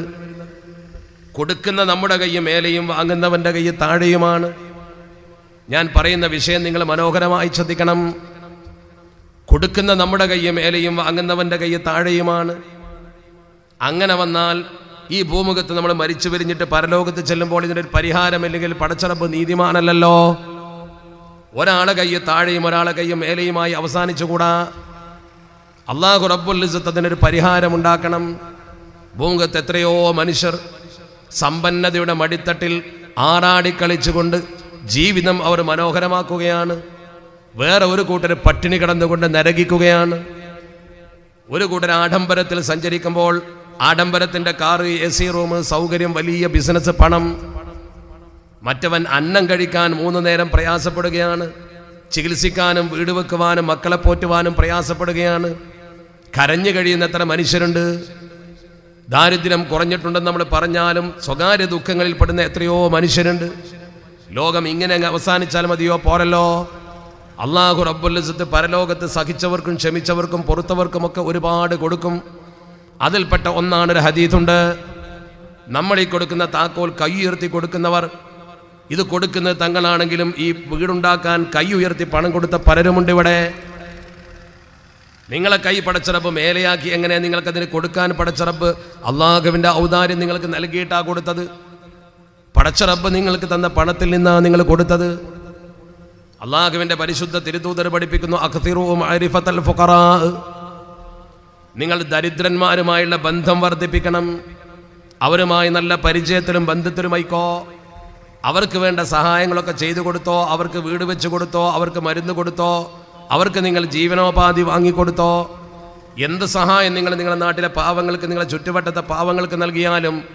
നിങ്ങൾ അവരോട് ബന്ധപ്പെടും കാരണം ഫ ദൗല ഇന്ന് ഇവിടെ വന്ന് കയ്യിങ്ങനെ നീട്ടിയവന് നാളെ അധികാരം കൊടുക്കുന്നൊരു ദിവസമുണ്ട് അള്ളാഹുവിൻ്റെ പരിശുദ്ധ തിരുതൂതരാ പഠിപ്പിക്കുന്നത് ഇന്ന് വന്നിട്ട് നമ്മുടെ മുമ്പിൽ കൈ നീട്ടി നമ്മുടെ സഹായം വാങ്ങിക്കൊണ്ടു പോകുന്നവൻ വിളിച്ചിട്ടാണ് വരുന്നത് കൊടുത്തിട്ടാണ് വാങ്ങുന്നത് ഒക്കെ ശരി എങ്കിൽ പോലും അവൻ്റെ കൈ താഴെയാണ് പാവം ആ മനുഷ്യൻ അള്ളാഹു ദൗലത്തൊരു അധികാരം കൊടുക്കും പവർ കൊടുക്കും ഇന്നലകും ദൗല ഈ പാവപ്പെട്ടവന് പടച്ചറപ്പ് അധികാരം കൊടുക്കുന്നൊരു ദിവസമുണ്ട് അതേതാ അത് യോമുൽ ഖിയാമയാണ് പരലോകം നമ്മൾ ചെയ്ത പ്രവർത്തനത്തിൻ്റെ ആക്കത്തൂക്കം കണക്കാക്കി ഓരോരുത്തർക്കും അതിൻ്റെ വരവ് ചെലവുകൾ അനുസരിച്ച് കൊണ്ട് പടച്ചിറപ്പ് പ്രതിഫലം തരുന്ന ദിവസം ആ ദിവസം നാളെ പരലോകത്ത് വരാൻ പോകുന്ന യോമുൽ ഖിയാമ ഞാനും നിങ്ങളുമൊക്കെ ഉണ്ടാകും ആ സമയത്ത് പടച്ചിറപ്പ് മഴ്സറയിൽ വെച്ച് അവൻ്റെ മലക്കുകളെ കൊണ്ട് വിളിച്ചു പറയിക്കും മാലാഖമാർ വിളിച്ചു പറയും ഒന്നുറുമൻ അത്രമക്കും കിസറത്തൻ പാവപ്പെട്ടവനോടാണ് പറയുന്നത് നിങ്ങൾക്ക് ഒരു പിടി ഭക്ഷണം തന്നവർ ആരെങ്കിലും ഇവിടെ ഉണ്ടോ എന്ന് നിങ്ങൾ പരതണം ഔസക്കാക്കും ഷർബത്തൻ ഒരു തുള്ളി വെള്ളം നിങ്ങളെ കുടിപ്പിച്ച പാവപ്പെട്ടവൻ ഈ സദസ്സിലുണ്ടോ മത്സരി നിങ്ങൾ നോക്കണം നിങ്ങൾക്ക് അന്നം തന്നവനോ വെള്ളം കുടിപ്പിച്ചവനോ ഈ സദസ്സിലുണ്ടോ എന്ന് നോക്കണം നിങ്ങൾ അപ്പോൾ ഈ പാവങ്ങൾ പറയും പഠിച്ചവനെ ഞങ്ങൾക്ക് വെള്ളം തന്നവരുണ്ട് ഭക്ഷണം തന്നവരുണ്ട് വീട് തന്നവരുണ്ട് മരുന്ന് തന്നവരുണ്ട് മക്കളെ കെട്ടിക്കാൻ സഹായം തന്നവരുണ്ട് അള്ളാഹു പറയും അവനെ പോയിട്ട് നിങ്ങൾ കയ്യ് പിടിച്ചു കൊണ്ടുവാ അവൻ്റെ കയ്യ് പിടിച്ചിട്ട് നിങ്ങൾ ഇങ്ങോട്ട് കൊണ്ടുവാ എന്താണ് പറഞ്ഞ വാക്ക് ഇന്നലെ കയ്യ് സ്റ്റേജിൽ നിന്ന് ഇങ്ങനെ വാങ്ങിയ ആള് നാളെ വന്നിട്ട് ഓൻ്റെ കയ്യ് മേലെ വെച്ചിട്ട് നമ്മൾ ഇങ്ങനെ പിടിക്കും ബൈത്തുൽ മുസാഹദക്ക് സഹായം കൊടുത്തോണ്ട കൈ ഇങ്ങനെ പിടിക്കും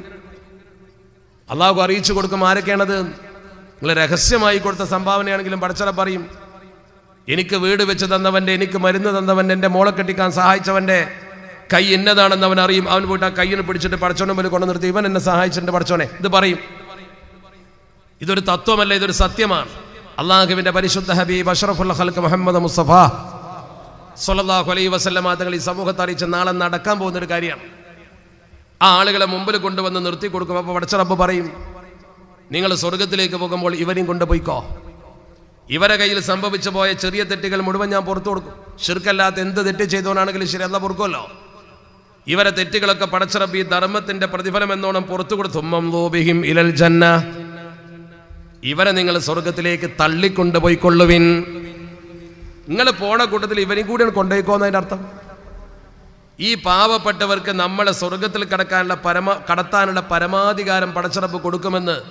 അള്ളാഹുവിന്റെ പരിശുദ്ധ തിരുദൂതൻ എന്ന് സ്വഹീഹുൽ ബുഖാരി ഉദ്ധരിക്കുന്നു റവാഹുൽ ബുഖാരി കാല റസൂർഹി എന്താ പിന്നെ തർക്കമുള്ളത്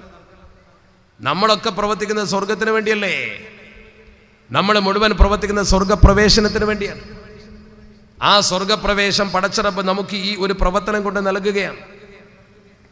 അവിടെ നമുക്ക് അള്ളാഹു നൽകുന്ന നിയമത്തിന്റെ മഹത്വം നോക്ക് നിങ്ങൾ ഇന്ന് നമ്മുടെ കയ്യിൽ പൈസ തന്നതും പടച്ചിറപ്പ് നാളെ നമ്മളെ സ്വർഗത്തിലേക്ക് കൊണ്ടുപോകുന്ന പഠിച്ചറപ്പ് അതിൻ്റെ ഇടയ്ക്ക് നമ്മളെ മനസ്സിലൊന്ന് തോന്നണം ഇത് കൊടുക്കാൻ ചില ആളുകൾക്ക് ഈ സമ്പത്ത് കൊടുക്കാൻ തീരെ തോന്നൂല അതാണ് കൊടുത്താൽ നഷ്ടപ്പെട്ടു എന്നുള്ളൊരു തോന്നലാണ് അവിടെയാണ് നമ്മൾ ചിന്തിക്കേണ്ടത് സമ്പത്തിനൊരു പ്രത്യേകത ഉണ്ട് സമ്പത്ത് മനുഷ്യനെ അപകടത്തിലും ചടുക്കും നന്നാക്കും ചെയ്യും അതുകൊണ്ടാണ് മഹാന്മാർ രേഖപ്പെടുത്തി വെച്ചത് സമ്പത്ത് എന്ന് പറയുന്ന സാധനം സമ്പത്തിന്റെ അടിത്തറ എന്ന് പറയുന്ന സാമ്പത്തികത്തിന്റെ ഏറ്റവും ബേസ് എന്ന് പറയുന്നത് പഴയ കാലം മുതലേ ദീർഘമും ദീനാറുമാണ് ദീർഘമു ദീനാർ ഈ ദീർഘമു ദീനാർ എന്ന അറബി പദങ്ങളെ നിർദ്ധാരണം ചെയ്തുകൊണ്ട് ഒരു കവി മനോഹരമായിട്ടൊരു കവിത എഴുതി അദ്ദേഹം പറഞ്ഞു ദീർഘമിലും ദീനാറിലുമുണ്ട് രണ്ട് പദങ്ങളും നന്നായി ശ്രദ്ധിക്കണം കേട്ടോ എന്ന് പറഞ്ഞു ദീർഘമു എന്ന പദത്തിന്റെ അവസാന ഭാഗത്തിൽ ഹമ്മ് എന്നാണ് ദീർഹം ഹമ്മാണ് ദീനാർ എന്ന പദത്തിന്റെ അവസാനത്തിൽ നാറാണ് തീയാണ് ഒന്ന് ടെൻഷനും ഒന്ന് അഗ്നിയും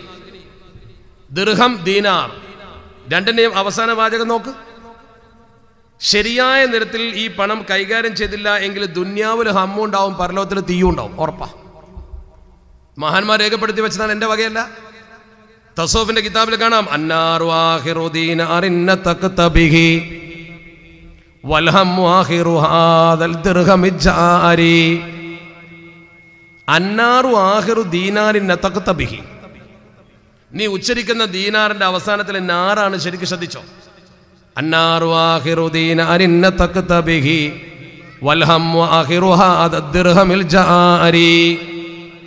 നിങ്ങൾ ഉപയോഗപ്പെടുന്ന ദീർഘമിന്റെ അവസാനത്തിൽ ഹമ്മാണെന്ന് മനസ്സിലായിക്കോ വൽമർ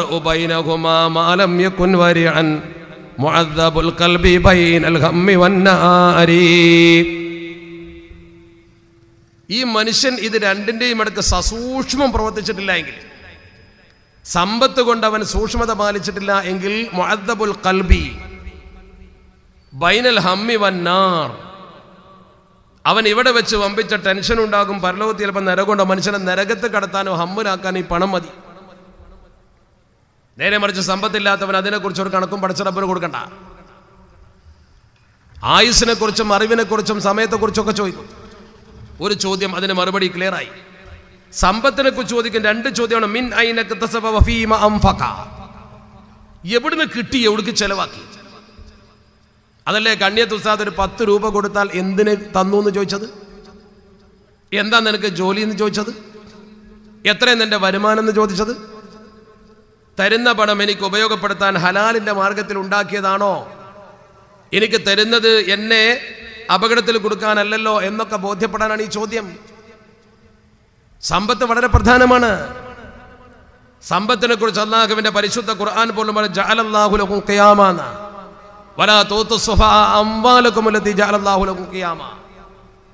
അത് കിവാമാണ് ശരിക്കും നിലനിൽപ്പിന്റെ സാധനമാണ് ബേസാണ് പണം വേണം വേണ്ടെന്ന് നീ പറഞ്ഞിട്ടില്ല നമുക്ക് ജീവിക്കാൻ പണം വേണം പണമില്ലാതെ ബുദ്ധിമുട്ടുന്ന അവസ്ഥ ഉണ്ടാകാൻ പാടില്ല അതുകൊണ്ട് ഇസ്ലാം തൊഴിലിനെ പ്രോത്സാഹിപ്പിച്ചു ഇസ്ലാം സമ്പാദിക്കുന്നതിനെ പ്രോത്സാഹിപ്പിച്ചു ഒക്കെ ചെയ്തു മാർഗം ഹലാലാകണമെന്നേ പറഞ്ഞുള്ളൂ വെറുതെ ഇരിക്കാൻ പാടില്ല പ്രവർത്തനക്ഷമതയുള്ള ഒരു മുഅ്മിനായ മനുഷ്യനാണ് പടച്ചറപ്പൻ ഇഷ്ടം മരടിച്ചിരിക്കുന്നവനല്ല അൽ ബത്താലത്ത് തുക്കസിൽ കൽബ് നിങ്ങൾ വെറുതെ ഇരുന്നാൽ നിങ്ങളെ ഹൃദയം കടുത്തു പോകും അതുകൊണ്ട് പാവപ്പെട്ടവൻ മനസ്സിലാക്കേണ്ട ഒരു കാര്യം ആരെങ്കിലും സഹായിക്കാനുണ്ട് എന്ന് കരുതി തനിക്ക് അധ്വാനിക്കാൻ തടിയുണ്ടെങ്കിൽ അധ്വാനിക്കാതിരിക്കരുത് ആരെങ്കിലും സഹായിക്കുമെന്ന് കരുതിക്കൊണ്ട് മാത്രം ഔദാര്യത്തിന് കെട്ടി കിടക്കരുത് രണ്ടു കൂട്ടർ മനസ്സിലാക്കേണ്ട കാര്യമാണ് ഒരാൾക്ക് കഴിവില്ലെങ്കിൽ സമ്പത്തില്ലെങ്കിൽ ആരാൻ്റെ ഔദാര്യത്തിന് കാത്തു കെട്ടി കിടക്കാൻ പാടില്ല നമ്മളെ കൊണ്ട് കഴിയുന്ന രീതിയിൽ സമ്പാദിക്കാനും പ്രവർത്തിക്കാനും നമുക്ക് നോക്കണം നേരെ മറിച്ച് ഒരു പാവപ്പെട്ടവൻ നമ്മുടെ മുമ്പിലുണ്ടെങ്കിൽ അവൻ സമ്പാദിച്ചോട്ടെ എന്ന് സമ്പന്നം കരുതാനും പാടില്ല ഈ രണ്ട് രീതിയിൽ മനുഷ്യന്മാർ ചിന്തിച്ച് പാവപ്പെട്ടവന്റെ വിഷമം തീർക്കാൻ ഇപ്പൊ നമ്മുടെ കൂട്ടത്തിൽ ഒരു നാലഞ്ച് പെൺമക്കളുടെ ഒരു മനുഷ്യൻ ഒരുപാട് ബുദ്ധിമുട്ടും ഇസ്ലാം അല്ല അതിന് ഉത്തരവാദി നമ്മൾ ഉണ്ടാക്കി വെച്ച മാമൂലുകൾ എന്നാലും ഇന്നത്തെ നാട്ടിൽ ആ പെൺകുട്ടികളെ പറഞ്ഞേക്കാൻ വേണ്ട സഹായം നമ്മൾ ചെയ്യൽ നമ്മുടെ കടമയല്ലേ വീടില്ലാതെ വിഷമിക്കുന്ന ഒരു മനുഷ്യന്റെ ബുദ്ധിമുട്ട് നമ്മൾ മനസ്സിലാക്കി ആ മനുഷ്യന് വേണ്ടത് ചെയ്തു കൊടുക്കൽ നമ്മുടെ കടമയല്ലേ ഇതിനു വേണ്ടി നമ്മൾ പ്രവർത്തിക്കുമ്പോൾ ഇറങ്ങി നടക്കേണ്ടി വരും ഇതിനു വേണ്ടി നമ്മൾ പ്രവർത്തിക്കുമ്പോൾ ഓടി നടക്കേണ്ടി വരും അള്ളാഹുവിന്റെ പരിശുദ്ധ തിരുദൂതർ അഷറഫുൽ ഹൽക്ക് മുഹമ്മദ് മുസഫ സൊല്ലാഹു അലഹി തങ്ങൾ പറഞ്ഞു മൻ മഷാലി ഹാജത്തി അഹീഹിവ തൻ്റെ സഹോദരൻ്റെ ആവശ്യത്തിന് വേണ്ടി ഇറങ്ങി നടക്കുകയും ആ സഹോദരൻ്റെ ആവശ്യ നിർവഹണത്തിന് വേണ്ടി പ്രവർത്തിക്കുകയും ചെയ്താൽ പരിശുദ്ധ തിരുദൂതര പഠിപ്പിക്കുന്നത് ചിന്തിക്കണം നിങ്ങൾ നമ്മളൊരു സഹോദരൻ്റെ ആവശ്യത്തിന് വേണ്ടി ഇറങ്ങി നടക്കുകയും പ്രവർത്തിക്കുകയും ചെയ്താൽ ലക്കാന ഹൈറല്ലഹു അതവന് ഗുണകരമായി ഭവിക്കും മിൻ എൻ്റെ മദീനത്തെ പള്ളിയിൽ രണ്ടു മാസം എഴുത്തിക്കാഫരിക്കുന്നതിനേക്കാൾ പ്രതിഫലം കിട്ടും അവന് പരിശുദ്ധ മസ്ജിദ് നബവിൽ രണ്ടു മാസം എഴുത്തിക്കാഫിരുന്നാൽ കിട്ടാത്ത പ്രതിഫലം ഒരു മനുഷ്യന് മറ്റൊരാളുടെ സഹായത്തിന് വേണ്ടി ഇറങ്ങി നടന്നാൽ കിട്ടുമെന്ന് പരിശുദ്ധ ദീൻ ചിന്തിക്കണം നിങ്ങൾ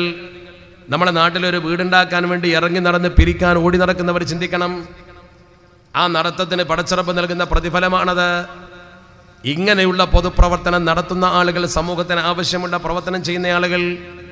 ആരാണെങ്കിലും ശരി അവരെക്കുറിച്ച് അള്ളാഹുവിൻ്റെ പരിശുദ്ധ തിരുദൂതർ ഇതുപോലത്തെ ഒരുപാട് ഹദീത്ത് പറഞ്ഞു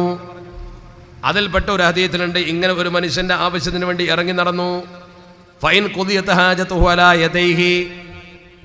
ഈ മനുഷ്യൻ്റെ പ്രവർത്തന ഫലമായി അവൻ്റെ ആവശ്യം നിർവഹിക്കപ്പെട്ടു നിങ്ങൾ പത്ത് പേര് പ്രവർത്തിച്ചപ്പോൾ അവൻ്റെ ആവശ്യം നിർവഹിക്കപ്പെട്ടു വീട് നിർമ്മിച്ചു കൊടുത്തു എന്നാൽ അതിൻ്റെ പ്രതിഫലം എന്താണ് അതല്ലെങ്കിൽ അവൻ ഈ പ്രവർത്തന വീതിയിൽ മരിച്ചു വീണു ആ പ്രവർത്തന വീതിയിൽ അവൻ മരിച്ചു വീണു അവൻ്റെ പ്രവർത്തനത്തിൽ ഔ മാത്ത അവൻ മരിച്ചു ആര് ഈ പ്രവർത്തിക്കുന്ന പ്രവർത്തകൻ നിങ്ങളെ കൂട്ടത്തിൽ പ്രവർത്തകൻ ബുക്കും പേനെടുത്ത് പിരിപ്പിച്ച് വീടുണ്ടാക്കാൻ വേണ്ടി ഓടി നടക്കുക പാവപ്പെട്ടവൻ വൈൻ മാത്ത ബൈനദാലിക്ക എന്ന ഹരീത് ഈ പ്രവർത്തനത്തിന്റെ മധ്യയെ വെച്ച് അവൻ മരിച്ചുപോയി അല്ലെങ്കിൽ അവനെ കൊണ്ട് ആ കാര്യം നടന്നുപോയി എന്നാൽ ഉമ്മുഹു ഉമ്മ പ്രസവിച്ചവനെ പോലെ ദോഷമുക്തനാണ് അവൻ അഷ്റഫുൽ ഹൽക്ക് മുഹമ്മദ് മുസ്തഫ ഇവന് മാജാ തങ്ങൾ ഉദ്ധരിച്ച ഹദീത കെട്ടുകഥയൊന്നുമല്ല ഈ കർമ്മമണ്ഡലത്തിൽ ഒരു പ്രവർത്തകൻ മരിച്ചു വീണാൽ നേരെ സ്വർഗത്തിലാണ് അവൻ മറ്റൊരു ഹദീതിൽ പറഞ്ഞ ദഹലൽ ജന്നത്ത് ഹിസാബ് അങ്ങനെ തന്നെ ഹദീതിലുണ്ട് ഈ കർമ്മമണ്ഡലത്തിൽ ഒരു പാവപ്പെട്ടവനെ സഹായിക്കാൻ വേണ്ടി നിങ്ങൾ ഓടി നടന്നിട്ട് ഈ പ്രവർത്തനം ഊർജിതമാക്കാൻ വേണ്ടി ഓടി നടക്കുമ്പോൾ നിങ്ങളെ കൈക്ക് ഇത് നടന്നാൽ നിങ്ങൾക്ക് ഉമ്മ പ്രസവിച്ചവനെ പോലത്തെ പ്രതിഫലം അഥവാ നിങ്ങൾ ഈ പ്രവർത്തനത്തിൽ മരിച്ചു വീണാലോ ദഹലൽ ജന്നത്ത് ഹിസാബ് രണ്ട് ഹദീസ് ഞങ്ങൾ നിങ്ങൾ ആലോചിച്ച് നോക്കൂ ഇതിൻ്റെ എത്രയാ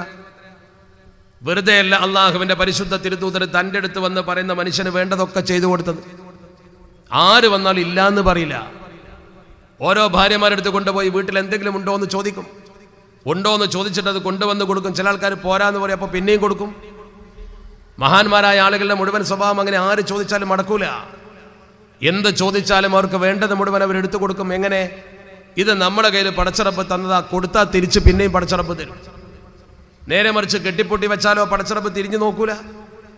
അതാണ് അംഫിക് മാഫിൽ മാഫിൽ എന്നാണ് മഹാന്മാർ പഠിപ്പിച്ച ഹദീസൊന്നുമല്ല മാഫിൽ നിന്റെ കീശയിലെടുത്ത് ചെലവാക്കിക്കോ നല്ലതിന് മാഫിൽ ഒയ്ബ് അറിയാത്ത ഭാഗത്തൂടെ കീശേക്കിന് വരുന്നു കാണാം നീ ചിന്തിക്കാത്ത മാർഗത്തിലൂടെ നിനക്ക് സഹായം നിന്റെ മുമ്പിലേക്ക് കൊണ്ടുവന്ന് ഇട്ട് തരുന്നത് കാണാം ആ സ്വഭാവം നമുക്കുണ്ടെങ്കിൽ പടച്ചിറപ്പ് നമുക്ക് പറക്കത്ത് ചെയ്യും ലോകം നിലനിൽക്കുന്നത് ഈ ഒരു തത്വശാസ്ത്രത്തിലാണ് ഒരാളും പരസ്പരം സഹായിക്കുന്നില്ലെങ്കിൽ ആരും ഒരാളുടെ കണ്ണുനീര് കാണുന്നില്ലെങ്കിൽ എന്താ അതിൻ്റെ അർത്ഥം നിങ്ങൾ വലിയ ആരാധനക്കാരായിട്ട് പോലും കാര്യമില്ല അതല്ലേ അള്ളാഹുവിന്റെ പരിശുദ്ധ ഖുർആൻ പറഞ്ഞത് നിസ്കരിക്കുന്നവർക്ക് നാശമുണ്ട് ഫവൈലുൽ മുസല്ലീൻ ആ നിസ്കരിക്കുന്നവർക്ക് നാശമുണ്ടെന്ന് പറഞ്ഞ പരിശുദ്ധ ഖുർആാനിൽ എന്ത് നിസ്കാരമാണത് അവർ നിസ്കാരത്തിൽ അശ്രദ്ധരാണ് സാഹൂനാണെന്ന് പറഞ്ഞിട്ട് പിന്നെ നബി അള്ളാഹുവിൻ്റെ ഖുർആാൻ്റെ ഭാഷ എന്താ അല്ലദീനഹും അല്ലദീനഹും യുറാഊന ഒരു പ്രകടനപരതക്കാരാണ് ആളുകൾ കാണാൻ വേണ്ടി മാത്രം നിസ്കരിക്കുന്നവരാണ് വലിയ നിസ്കാരക്കാരനാണെന്നറിയാൻ പള്ളിയിലുണ്ടാകും വലിയ സുന്നത്ത് നിസ്കരിക്കും എല്ലാം ചെയ്യും പക്ഷേ അവൻ മാഴൂൻ തടയും മാഴൂൻ എന്ന് പറഞ്ഞാൽ എന്താണ് പെണ്ണുങ്ങളാണ് കൂടുതൽ മനസ്സിലാക്കേണ്ടത് നിങ്ങളുമായി ബന്ധപ്പെട്ടാണ് ഇത്തരം വിഷയങ്ങൾ കൂടുതൽ വരിക മാഴൂൻ എന്ന പദത്തിന്റെ അർത്ഥം അത്യാവശ്യ വീട്ടു ഉപകരണങ്ങൾ പച്ച മലയാളത്തിൽ ചില മുഫസരിങ്ങൾ പറഞ്ഞ പോലെ കത്തി കൈക്കോട്ട് കൊട്ട കസേര പോലുള്ള സാധനങ്ങൾ അടിസ്ഥാനപരമായൊരു വീട്ടിൽ ഉണ്ടായിരിക്കേണ്ട അത്യാവശ്യ ഉപകരണങ്ങൾ ഈ ഉപകരണങ്ങൾ തടയുക എന്ന് പറഞ്ഞാൽ യംനഊനൽ മാഴൂൻ എന്ന് പരിശുദ്ധ ഖുർആൻ പറഞ്ഞാൽ ആ ആളുകളെ കുറിച്ചാണ് പറഞ്ഞത് ഫവൈലുല്ലിൽ മുസൊല്ലീൻ അങ്ങനെയുള്ള നിസ്കാരക്കാർക്ക് പടച്ചറപ്പ് നരകത്തിലൊരു ഭാഗം റിസർവ് ചെയ്തിരിക്കുന്നു എന്താണ് ഈ സംഗതി നിങ്ങളെ വീട്ടിൻ്റെ തൊട്ടടുത്ത വീട്ടിൽ ഒരു സാധു താമസിക്കുന്നുണ്ട് മഴ പെയ്തപ്പോൾ അവനൊന്ന് വിത്ത് കുഴിച്ചിടാൻ വേണ്ടി നിങ്ങളെ വീട്ടിലേക്ക് ഓടി വന്നു പാവമാണ് ഒരു കൈക്കോട്ട് വാങ്ങാൻ കഴിവില്ലാത്ത പാവം വന്നുകൊണ്ട് പറഞ്ഞു നിങ്ങളെ വീട്ടിലെ കൈക്കോട്ടൊന്ന് തരുമോ ആ മഴയത്ത് എനിക്കൊരു കുത്ത് കുടിച്ചിടാൻ അല്ലെങ്കിൽ ചെറ ഒന്ന് ഒന്നും ഒന്നും അവിടെ മതിൽ കെട്ടുവാനാണ് അതല്ലെങ്കിൽ വരമ്പ് വെക്കുവാനാണ് മുറ്റത്തേക്ക് വെള്ളം വന്നിട്ട് കൈക്കോട്ടൊന്ന് തരുമോ എന്ന് ചോദിച്ചുകൊണ്ട് നിങ്ങളെ വീട്ടിൽ വരുമ്പോൾ നിങ്ങൾ പറയുന്നു ഇത് എൻ്റെ വീട്ടിലെ ആവശ്യത്തിന് ഞാൻ വാങ്ങിയതാണ് നിനക്ക് വേണമെങ്കിൽ നീ വേറെ നോക്കിക്കോ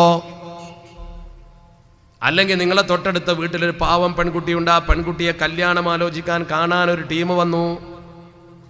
വന്നവർ മൂന്നാലാളുകളുള്ളത് കൊണ്ട് കസേര കൊടുത്ത് ഇരുത്താൻ വഴിയില്ലായകയാൽ ഓടി വന്നിട്ട് പറഞ്ഞു നിങ്ങളെ വീട്ടിലെ രണ്ട് കസേര തരുമോ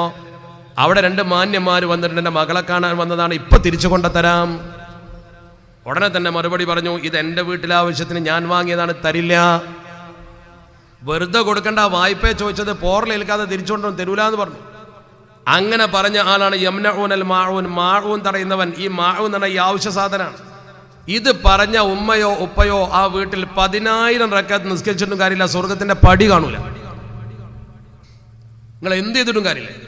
അള്ളാഹു റബ്ബുൽ നിങ്ങളെ തിരിഞ്ഞു നോക്കൂല എന്താ കാരണം അവന്റെ ഒരു അടിമക്ക് ബുദ്ധിമുട്ടുള്ളപ്പോ സഹായിക്കാൻ വന്നപ്പോ നിങ്ങൾ തിരിഞ്ഞു നോക്കിയിട്ടില്ല യംനഊനൽ മാഴൂൻ എന്ന് പറയുന്ന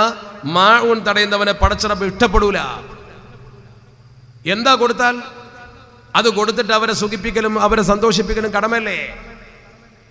അള്ളാന്റെ പരിശുദ്ധ തിരുത്തര പഠിപ്പിച്ചത് അഫ്ദലുൽ ബഅദൽ ഇദ്ഹാലു അലൽ മുസ്ലിം എവിടെ കൊണ്ടുപോയിട്ടാണ് ഈ ഹദീസൊക്കെ വെച്ചത് അഫ്ദലുൽ അഴമാലി ബഅദൽ ഫറായിൽ നിങ്ങളുടെ നിർബന്ധ കർമ്മങ്ങളൊക്കെ നിർവഹിച്ചതിന്റെ ശേഷം നിങ്ങൾക്ക് ഏറ്റവും പ്രതിഫലം കിട്ടുന്ന പ്രവർത്തനം എന്താ അഫ്ദലുൽ അഴമാൽ അമലിൽ വെച്ച് ഏറ്റവും ശ്രേഷ്ഠമായ അമൽ അതേതാ ഇദ്ഹാലു സുറൂറി അലൽ മുസ്ലിം ഒരു മുസ്ലിമായ മനുഷ്യന്റെ മനസ്സിൽ സന്തോഷം ജനിപ്പിക്കലാണ് അഷ്റഫുൽ ഹൽക്ക് മുഹമ്മദ് മുസ്തഫ നിങ്ങളൊരു മനുഷ്യന്റെ മനസ്സിൽ സന്തോഷം ഉണ്ടാക്കുന്ന പണി ചെയ്തു ആ മനുഷ്യന്റെ മനസ്സിൽ സന്തോഷം ജനിപ്പിക്കുന്ന ഒരു പ്രവർത്തനം നിങ്ങൾ ചെയ്തു നോക്ക് ആ പ്രവർത്തനം അള്ളാഹു ഏറെ ഇഷ്ടപ്പെടും പടച്ചറപ്പ് ഇഷ്ടപ്പെടും അപ്പോഴാണ് നിങ്ങൾക്ക് പടച്ചറപ്പിന്റെ കാരുണ്യം ശരിക്കും അനുഭവിക്കാൻ കഴിയുക അതാണ് പറഞ്ഞത്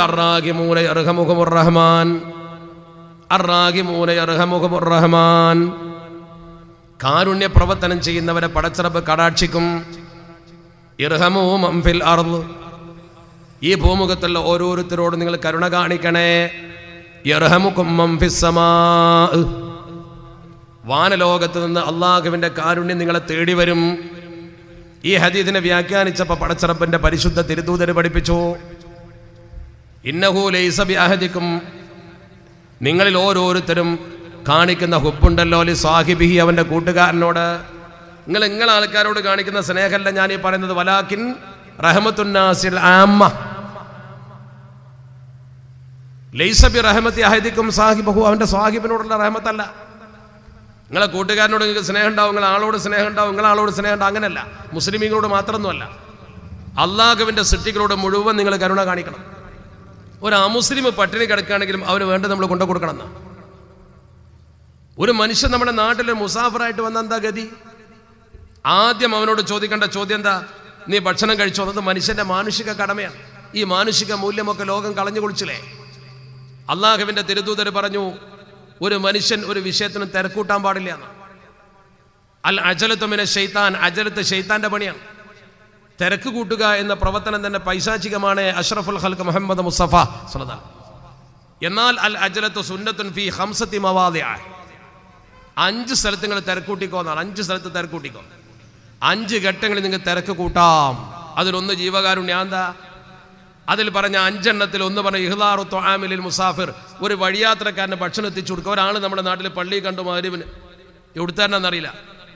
അവനങ്ങനെ വട്ടട്ട് ചെയ്ത ഗ്രൂപ്പ് ചെയ്ത പാർട്ടി എന്ന് വെച്ചിട്ട് അവൻ ഇടങ്ങാറാക്കി ഇൻ്റർവ്യൂ എല്ലാം ഉണ്ട് ആദ്യം ചോദിക്കേണ്ട എന്താ ഈ ഭക്ഷണം കഴിച്ച മോനെ നോക്കണം അത് മനുഷ്യന്റെ കടമ അതിൽ തിരക്ക് വേണം അതിന് ഏറ്റവും ആദ്യം മുന്നോട്ട് വരുന്നവന് പഠിച്ചറപ്പ് ഹൈർ നൽകുന്ന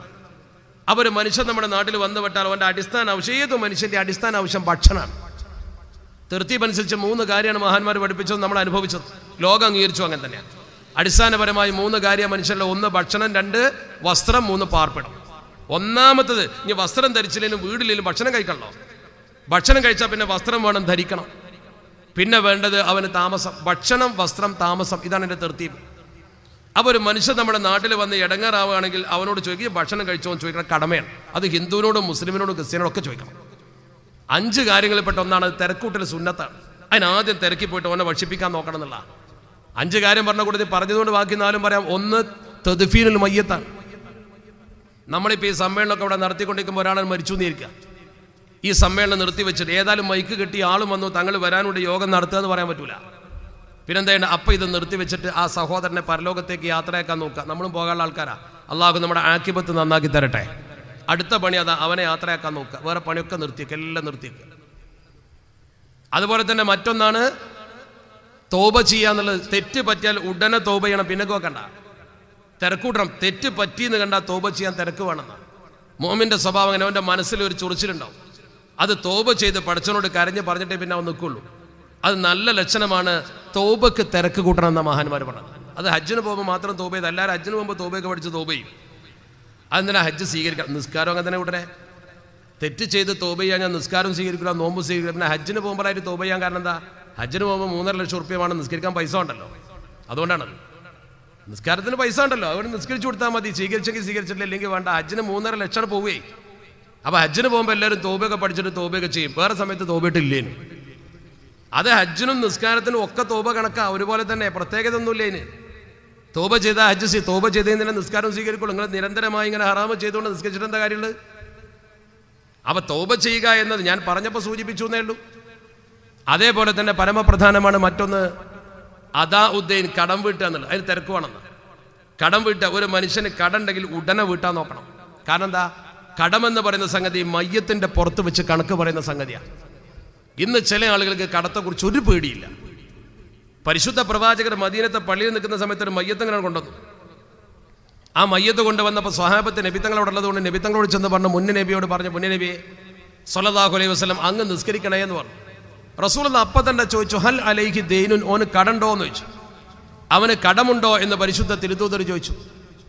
ഉടനെ തന്നെ അള്ളാഹുവിന്റെ പരിശുദ്ധ തിരുതൂതരോട് സ്വഹാബ പറഞ്ഞു കടണ്ട് നബി ഹൽ അല അല്ലഹു തെരിക്കത്തുൻ പുണ്യ സ്വഹാബത്തെ അവന് ഏതെങ്കിലും സൂക്ഷിപ്പ് സ്വത്തോ അതല്ലെങ്കിൽ അനന്തര സ്വത്തോ ഉണ്ടോ പരിശുദ്ധ തിരുദൂതരോട് പറഞ്ഞു ഇല്ലല്ലോ നബിയെ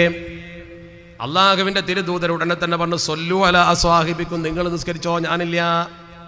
അതിൻ്റെ അർത്ഥം എന്താണ് കടമുള്ളവനെ നിസ്കരിച്ചിട്ട് ഫലമില്ല മയ്യത്ത് കട്ടിൽ പള്ളിയിൽ കൊണ്ടുവന്ന് വെച്ചിട്ട് വിളിച്ചു പറയുന്നത് കേട്ടിട്ടില്ല നിങ്ങൾ ഈ മനുഷ്യന്റെ കടം ഇന്നാലിന്നവൻ ഏറ്റെടുത്തിരിക്കുന്നു എന്ന പോലെ മദീനത്തെ പള്ളിയിൽ നബിത്തങ്ങളുടെ മുമ്പിൽ വെച്ച് അബൂ കത്താദറതി അള്ളാഹു തനക്ക് മുന്നോട്ട് വന്നുകൊണ്ട് പറഞ്ഞു യാ റസൂലല്ലാ അലയ്യ ദൈനുഹു ദൈനുഹു നബിയെ അവൻ്റെ കടം ഞാൻ ഏറ്റെടുത്തിരിക്കുന്നു അവൻ്റെ കടം ഞാൻ ഏറ്റിരിക്കുന്നു അപ്പോഴാണ് നബി നിസ്കരിച്ചത് എന്ന് ഹദീത്തിൻ്റെ കിതാബിലുണ്ട് നമ്മളൊക്കെ മയ്യത്ത് കൊണ്ടുപോയി വെക്കും വെച്ചിട്ട് വിളിച്ചു പറയും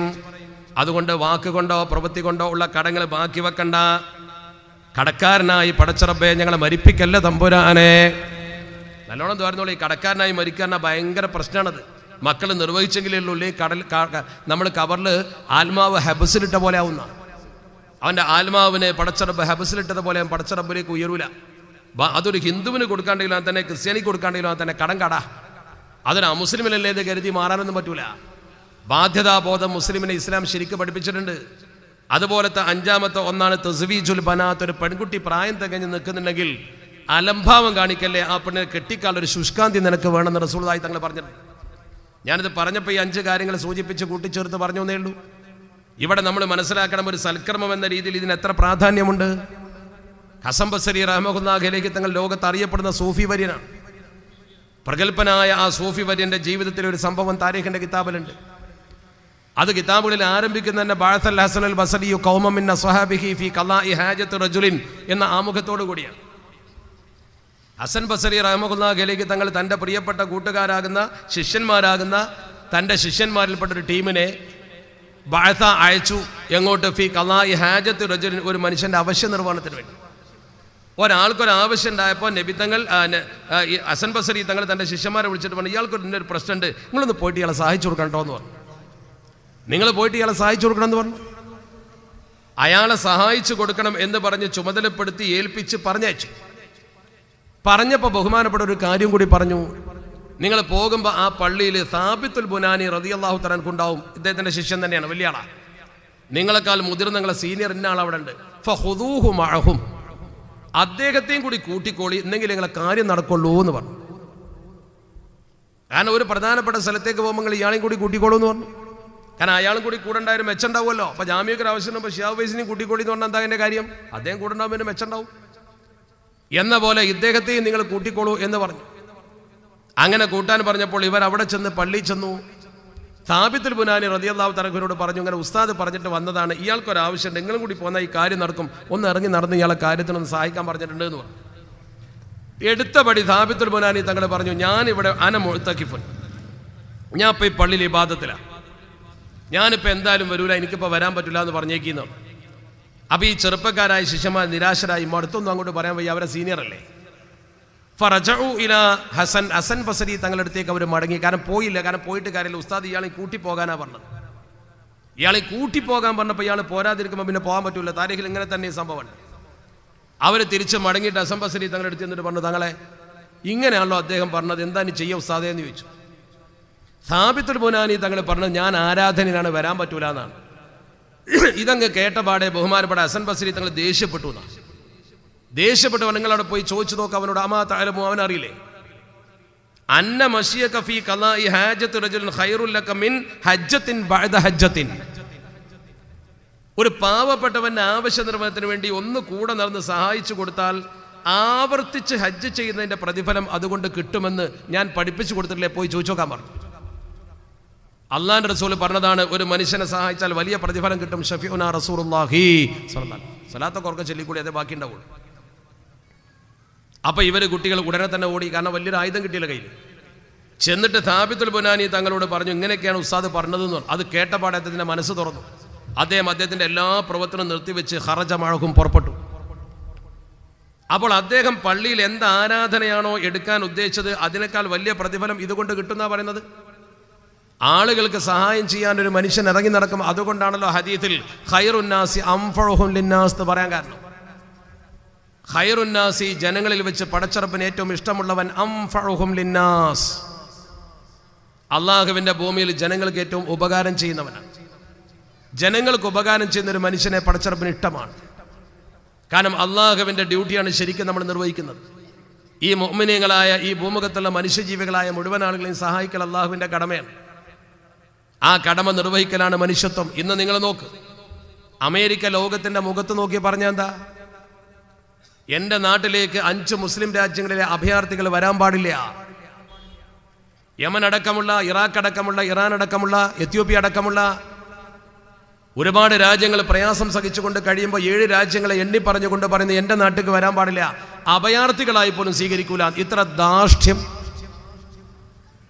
നാൽപ്പത്തി അഞ്ചാമത്തെ അമേരിക്കൻ പ്രസിഡന്റാണ് ഡൊണാൾഡ് ട്രംപ് നാൽപ്പത്തിനാല് മനുഷ്യന്മാരുടെ പ്രധാനമന്ത്രി പ്രസിഡന്റുമാരായി പോയി ആ രാജ്യത്ത് പ്രസിഡന്റുമാരായി പലരും കടന്നു വന്നു പോയി ഒരാളും ഇങ്ങനെ ഒരു വാക്ക് പറഞ്ഞിട്ടില്ല പ്രവർത്തിച്ചിട്ടുണ്ടാകാം മനസ്സിൽ വെച്ചുകൊണ്ട് മുസ്ലിങ്ങളെ അകറ്റിയിട്ടുണ്ടാകാം ഒക്കെ ഞാൻ സമ്മതിക്കുന്നു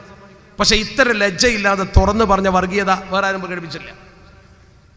അഭയാർത്ഥികളായ ഒരു മനുഷ്യൻ എപ്പോഴാണ് വരുന്നത് എപ്പോഴും ഒരു മനുഷ്യൻ അഭയാർത്ഥിയാവുന്നത് ഒരു മനുഷ്യൻ അഭയാർത്ഥിയാവുന്നത് സ്വന്തം പ്രദേശത്ത് രക്ഷ കിട്ടാതെ വരുമ്പോഴാണ് ഒന്നുകിൽ ജീവന് ഭീഷണി വരുമ്പോൾ അല്ലെങ്കിൽ അന്നം കിട്ടാൻ ബുദ്ധിമുട്ടായിട്ട് പട്ടിണി കിടന്നിട്ട് സുരക്ഷിതത്വം നഷ്ടപ്പെടുമ്പോഴോ ജീവിത വിഭവം നഷ്ടപ്പെടുമ്പോഴോ മനുഷ്യൻ പലായനം ചെയ്യും അല്ലെങ്കിൽ ഒരാളും നാട് വിട്ടു പോകില്ല ഇതിനേക്കാൾ സൗകര്യം തരാമെന്ന് പറഞ്ഞാൽ പോലും ഒരാളും ജനിച്ച നാട് വിട്ടു പോകാൻ ആഗ്രഹിക്കാത്ത ആളാണ് കാരണം ജന്മനാടിനോട് നമുക്ക് അങ്ങനെ ഒരു ബന്ധമുണ്ട് ഒരു ഗൃഹാതുരത്വം എന്നൊക്കെ പറയും ആ ബന്ധം നിലനിർത്തുന്ന ഏത് മനുഷ്യനും പുറത്തേക്ക് പോലെ ആര് പിടിച്ചാലും പോകില്ല ഗൾഫിൽ പോയവർ പോലും സകല സൗകര്യം ഉണ്ടെങ്കിൽ ഇങ്ങോട്ട് തന്നെ വരാൻ ആഗ്രഹിക്കും നമ്മുടെ നാറ്റീവ് പ്ലേസ് നമ്മുടെ ജന്മനാട് നമുക്ക് അതിപ്രധാനമാണ് ആ അവസ്ഥ വെച്ചുകൊണ്ട് ജനങ്ങൾ എപ്പോഴാ പ്രവാസികളാകുന്ന അതല്ലെങ്കിൽ അഭയാർത്ഥികളാ പ്രവാസി അഭയാർത്ഥി രണ്ട് രണ്ടാണ് ഈ മനുഷ്യൻ ഈ രീതിയിൽ പാവപ്പെട്ടവർ ഓടി നടന്നിട്ട് രണ്ടട്ടം മുറ്റിക്കാൻ കഴിയാതെ വരുമ്പോൾ പട്ടിണി കിടക്കുമ്പോഴോ ജീവന് ഭീഷണി ഉണ്ടാകുമ്പോഴോ ഇപ്പോൾ ഈ പറയപ്പെട്ട ഏഴ് മുസ്ലിം രാജ്യത്തും അഭയാർത്ഥികൾ വരുന്ന ജീവന് ഭീഷണിയുള്ളപ്പോഴാണ് ആ ജീവന് ഭീഷണിയുള്ള മനുഷ്യന്മാർക്ക് ഞാൻ അഭയം കൊടുക്കില്ല എന്നല്ല ഇത്ര വലിയ തമ്മടുത്തം ദുന്യാവിലെന്താ ഇതിനേക്കാൾ വലിയ അഹങ്കാരം ലോകത്ത് വേറെന്താ ഇത്ര വലിയ അഹങ്കാരി ദുന്യാവിലാരുള്ളത് അയാളെ പറഞ്ഞ വാക്ക് അവിടുത്തെ കോടതി പോലും അംഗീകരിച്ചില്ല ഫെഡറൽ കോടതി പോലും കൃത്യമായി ഇടപെട്ട് പറഞ്ഞപ്പനെ പറയാൻ പാടില്ല പ്രഗത്ഭരായ ചിന്തകന്മാരും ബുദ്ധിജീവികളും ഒക്കെ പറഞ്ഞു ഒരിക്കലും അങ്ങനെ ചെയ്യാൻ പാടില്ല എന്ന് പരസ്യമായിട്ട് പറഞ്ഞു എന്താണ് അങ്ങനെ പറയാൻ കാരണം അങ്ങനെ പറയാൻ കാരണം മറ്റൊന്നുമല്ല അവർക്കറിയാം ലോകനീതിക്കെതിരാണ് പറഞ്ഞ വാക്ക് യു എൻ ഇടപെട്ടു പക്ഷേ വേണ്ട വിധം അത്തരം വിഷയത്തിൽ യു എന്നോ ബന്ധപ്പെട്ടവരോ ഇടപെടില്ല അത് സ്വാഭാവികമാണ് അമേരിക്ക എന്ത് പറയുന്നു അത് പഞ്ചപുച്ഛമടച്ച് ഓച്ചാനിച്ച് കാത്തു നിൽക്കുക കേട്ടു നിൽക്കുക എന്നല്ലാതെ സത്യത്തിൽ അമേരിക്ക പോലെ രാജ്യം മറ്റൊരു രാജ്യത്തേക്ക് വിസ കൊടുക്കുമ്പോൾ ഒരുപാട് നിയന്ത്രണങ്ങൾ വെക്കുന്നുണ്ട് ഒരു രാജ്യത്തെ പൗരൻ ആ രാജ്യത്തേക്ക് പ്രവേശിക്കുമ്പോൾ ഒരുപാട് നടപടിക്രമങ്ങൾ മുത്തമ്മ നമുക്ക് അമേരിക്കയിൽ പോലെ എന്തൊക്കെ നിയമമുണ്ടെന്ന് അറിയാം നിങ്ങൾ നിങ്ങൾ അമേരിക്കയിലേക്ക് ഒന്ന് പോകാൻ ശ്രമിച്ചു നോക്ക് നിങ്ങൾക്കൊരു വിസ കിട്ടണമെങ്കിൽ ഒരുപാട് പെടാപാട് പെടണം പ്രത്യേകിച്ച് ഒരു മുസ്ലിം നാമമുള്ള മനുഷ്യനാണെങ്കിൽ അവനെ അങ്ങോട്ട് കടത്താൻ അമേരിക്ക വല്ലാതെ ബുദ്ധിമുട്ടിക്കും നമ്മുടെ A P J Abdul Kalam പോയിട്ട് പോലും അദ്ദേഹത്തിന് ദുരനുഭവം ഉണ്ടായത് പത്രത്തിലുണ്ടായിരുന്നല്ലോ സെക്യൂരിറ്റിക്കാർ അദ്ദേഹത്തെ ഇട്ട് പ്രയാസപ്പെടുത്തിയത് ഒരു പ്രസിഡന്റ് ആയിട്ട് പോലും പിന്നല്ലേ സാധാ പൗരൻ ഇന്ത്യയുടെ ആയിട്ട് പോലും അദ്ദേഹത്തിനുണ്ടായ അനുഭവം പത്രത്തിൽ വാർത്ത വന്നിരുന്നല്ലോ അതെന്തുകൊണ്ടാ ഇന്ത്യൻ പ്രസിഡന്റ് ആയതുകൊണ്ടല്ല ആ സ്ഥാനം അദ്ദേഹത്തിന് വക അബ്ദുൽ കലാം ആയതുകൊണ്ടാണ് അബ്ദുൽ കലാം എന്ന പേര് അദ്ദേഹത്തിനുള്ളത് കൊണ്ടാണ് അത്ര പ്രയാസപ്പെടുന്ന സ്വഭാവമുള്ള അമേരിക്കൻ ഭരണകൂടം ആ ഭരണകൂടം പക്ഷേ ഇന്നേ വരെ പറഞ്ഞിട്ടില്ല ഇങ്ങനെ ഒരു വാക്ക് വരണ്ട വിസ തരാതിരിക്കും ബുദ്ധിമുട്ടിക്കും അതൊക്കെ പതിവാ പിന്നെ ഇങ്ങനെ ഒരു തുറന്നു പറച്ചിൻ്റെ ആവശ്യം എന്താ ഇനി വിസ കൊടുക്കുന്നില്ല കൊടുക്കാതിരുന്നാൽ പോരെ പക്ഷെ അഭയാർത്ഥികളെ സ്വീകരിക്കാത്ത ഒരു രാജ്യം ഉണ്ടാവില്ലല്ലോ ബുദ്ധിമുട്ടി വന്നുകൊണ്ട് വാതിൽക്കൽ മുട്ടുമ്പോൾ സ്വീകരിക്കാത്ത ഒരു മനുഷ്യൻ ദുന്യാവിലുണ്ടാവുമോ അതുപോലെ ഞാൻ ചെയ്യില്ല എന്ന് പറയുമ്പോൾ ഒരു ജീവകാരുണ്യ പ്രവർത്തനം പോലും ചെയ്യില്ല എന്നല്ല അതിൻ്റെ അർത്ഥം ദുന്യാവിൽ ഇത്ര ക്രൂരമായ മനസ്സുള്ള മനുഷ്യൻ്റെ മക്കൾ അധികാരത്തിലേറുന്നത് എന്തുകൊണ്ടാണ് നമ്മൾ ചിന്തിക്കണം ഇസ്ലാമിന് ഇത്ര വലിയ കൊടിയ ശത്രുതയുള്ള ആളുകൾ എങ്ങനെ അധികാരത്തിൽ വരുന്നു അവിടെയാണ് നമ്മളൊന്ന് തിരിച്ചു പോകേണ്ടത് നമ്മിലേക്ക് നമ്മൾ സഹായം ചെയ്യുന്നു ജീവകാരുണ്യ പ്രവർത്തനം ചെയ്യുന്നു പരസ്പരം സഹായിക്കുന്നു ഒക്കെ ശരി പക്ഷേ നമ്മുടെ ഇസ്ലാമിക ജീവിതത്തിലേക്ക് നമ്മളൊന്ന് തിരിച്ചു പോകേണ്ട കാലം കഴിഞ്ഞിട്ടുണ്ട് നമ്മുടെ സ്നേഹബന്ധങ്ങൾ രൂഢമൂലമാക്കേണ്ട കാലം കഴിഞ്ഞിട്ടുണ്ട് അള്ളാഹുവിന്റെ പരിശുദ്ധതയും നമ്മളോട് പഠിപ്പിച്ച ജീവകാരുണ്യ പ്രവർത്തനത്തിൻ്റെ മഹത്വം ഓർക്കുമ്പോൾ തന്നെ ഇസ്ലാമിക ജീവിതത്തിൻ്റെ മഹത്വം നമ്മൾ ഓർക്കണം പ്രത്യേകിച്ച് തരം സഹായങ്ങളൊക്കെ സ്വീകരിക്കുന്ന ആളുകൾ അള്ളാഹുവിനെ ഭയപ്പെട്ടുകൊണ്ട് ജീവിച്ചുകൊണ്ട് പടച്ചറബിലേക്ക് കൂടുതൽ വണങ്ങുകയും നിങ്ങൾ അള്ളാഹുവിനെ ഭയപ്പെട്ടുകൊണ്ട് ജീവിക്കുകയും ചെയ്യുമ്പോഴാണ് ഈ കൊടുത്തവർക്കൊക്കെ ഗുണം കിട്ടുന്നത് പലപ്പോഴും പല പാലിയേറ്റീവ് പ്രവർത്തനത്തിൻ്റെയും ഇരകളാകുന്ന മുസ്ലിങ്ങൾ ആ മുസ്ലിങ്ങളുടെ കാര്യം നമ്മൾ നോക്കേണ്ട കാര്യമില്ല അവർക്ക് നമ്മൾ സഹായം കൊടുക്കുക അവരവരുടെ ജീവിതം തുടരട്ടെ നേരെ മറിച്ചൊരു മുസ്ലിമായ മനുഷ്യനാണെങ്കിൽ ജനങ്ങളെ സഹായിക്കുന്ന അവസ്ഥയിൽ പ്രത്യേകിച്ചൊരു ബാധ്യത ഉണ്ട് അള്ളാഹുവിൻ്റെ ദീനെ പറയിപ്പിക്കുന്ന പ്രവർത്തനം നമ്മൾ ചെയ്യാൻ പാടില്ല നമ്മൾ അള്ളാഹുവിൻ്റെ ദീനനുസരിച്ച് തന്നെ മുന്നോട്ട് പോകണം എന്ന പോലെ ഇത്തരം നല്ല പ്രവർത്തനങ്ങൾക്കൊക്കെ മുൻപന്തിയിലുള്ള ആളുകൾ അവരെ കയ്യിൽ ശരിക്ക് ദീനുണ്ടാകുമ്പോൾ ആളുകൾ അവരെ ശരിക്ക് അംഗീകരിക്കുകയും അവർക്ക് വേണ്ട സഹായങ്ങളൊക്കെ ചെയ്തു കൊടുക്കുകയും ചെയ്യും നമ്മൾ മുന്നിൽ നിൽക്കുന്നവർ മോശമായാൽ ഇതിനോട് സഹകരണം ആളുകൾക്ക് കുറയും ഇന്ന് ലോകത്ത് ഏറ്റവും ആവശ്യം ഇതാണ് അള്ളാഹുവിൻ്റെ പരിശുദ്ധ ദീനിലേക്ക് നമ്മൾ മടങ്ങിയാൽ ഇന്ന് ലോകത്തുള്ള സകല പ്രതിസന്ധികളും അസ്തമിക്കും കാലികമായി നമ്മൾ ചിന്തിക്കേണ്ട ഏറ്റവും പ്രധാനപ്പെട്ട ഒരു കാര്യമാണ് ഇന്ന് ലോകത്തിൻ്റെ അവസ്ഥയിലേക്ക് നിങ്ങളൊന്ന് കണ്ണോടിച്ചു നോക്ക് ഇന്ത്യ മഹാരാജ്യത്താണെങ്കിലും ലോകത്തിൻ്റെ ഏത് മുക്കുമൂലയിലാണെങ്കിലും മുസ്ലിം സമൂഹം വളരെയേറെ അവമതിക്കപ്പെട്ടിക്കൊണ്ടിരിക്കുന്ന അവസ്ഥ അതേ സമയത്തോ അതേ സമയത്ത് പൊതുസമൂഹത്തെ നമ്മൾ പരിശോധിച്ചാൽ ധാർമ്മികമായ അധപ്പതനം എല്ലാവർക്കും പക്ഷെ അതിൽ നമ്മൾ വിട്ടുപോകാൻ പാടില്ലല്ലോ ഇപ്പം ഇന്നും ഇന്നലെയും അടുത്ത ദിവസവും ഒക്കെയായി നമ്മുടെ പത്രത്തിലെ പ്രധാന ചർച്ച എന്താ ഒരു നടിയെ മാനഭംഗപ്പെടുത്താൻ തട്ടിക്കൊണ്ടുപോയ വിഷയം സാംസ്കാരിക കേരളത്തിലെ അപമാനകരമായ സംഭവത്തെക്കുറിച്ച് നിങ്ങൾ നോക്ക് ഗുണ്ടാ തലവനെ ഇതുവരെ പോലീസിന് പിടികിട്ട പിടിയിട്ടിട്ടില്ല സൂചനകൾക്ക് പിന്നാലെ പോലീസ് പറന്നുകൊണ്ടിരിക്കുകയാണ് ഒരു ജനാധിപത്യം അതേതര രാജ്യത്തെ സാംസ്കാരിക കേരളത്തിൽ ഒരു സിനിമ സിനിമ എന്ന് പറയുന്ന രംഗം തന്നെ അതപ്പതിച്ച രംഗമാണത് വേറെ കാര്യം എന്നാൽ അവിടെ പോലും ലൈംഗിക അപവാദം ഒരാളെ തട്ടിക്കൊണ്ടുപോകുന്ന അവസ്ഥ അതുപോലെ തന്നെ ഗുണ്ടകൾ വളരുന്നു മാഫിയാസങ്ങളും കൊട്ടേഷനും വളരുന്നു ചിന്തിക്കുന്ന നിങ്ങൾ മനുഷ്യന്റെ ജീവന് പോലും സുരക്ഷിതത്വമില്ലാത്തൊരവസ്ഥയിലേക്ക് ലോകമെത്തുകയാണ് എന്താണ് ഈ കേൾക്കുന്നതൊക്കെ ആർക്കാണ് മാന്യമായി ജീവിക്കാൻ സമൂഹത്തിൽ കഴിയുക എന്ന് ചിന്തിക്കേണ്ട കാലം വന്നിട്ടില്ലേ നിയമത്തിന്റെ പരിരക്ഷ പോലും മനുഷ്യന് കിട്ടാത്തൊരു ഗതികേടിലേക്ക് നമ്മൾ മാറുകയാണ് ഈ ഒരു അവസ്ഥയിലേക്ക് ലോകം കൂപ്പുകുത്തുന്നത് എന്തുകൊണ്ടാണ് വിവരമില്ലാത്തതുകൊണ്ടാ എത്ര സാങ്കേതിക വിദ്യാ കേന്ദ്രങ്ങൾ നമ്മൾ തുറന്നു നമ്മുടെ എത്ര ഉയരത്തിലേക്ക് പോയി നമ്മുടെ രാജ്യം നമ്മുടെ രാജ്യം നൂറ്റി നാല് ഉപഗ്രഹങ്ങൾ ഒന്നിച്ച് ശ്രീഹരിക്കോട്ടയിലെ സതീഷ് ധവാൻ സ്പേസ് സെന്ററിൽ നിന്ന് വിക്ഷേപിച്ചു നൂറ്റി നാല് ഉപഗ്രഹം ഒന്നിച്ച് ഇന്ത്യ ഒരു സ്പേസ് ഹബ്ബാവുകയാണ് ആ നൂറ്റിനാല് ഉപഗ്രഹത്തിൽ ഇന്ത്യയുടേത് മൂന്നെണ്ണമേ ഉള്ളൂ എൺപത്തെട്ടും അമേരിക്കയുടേതാണ് ശരി എന്നാൽ പോലും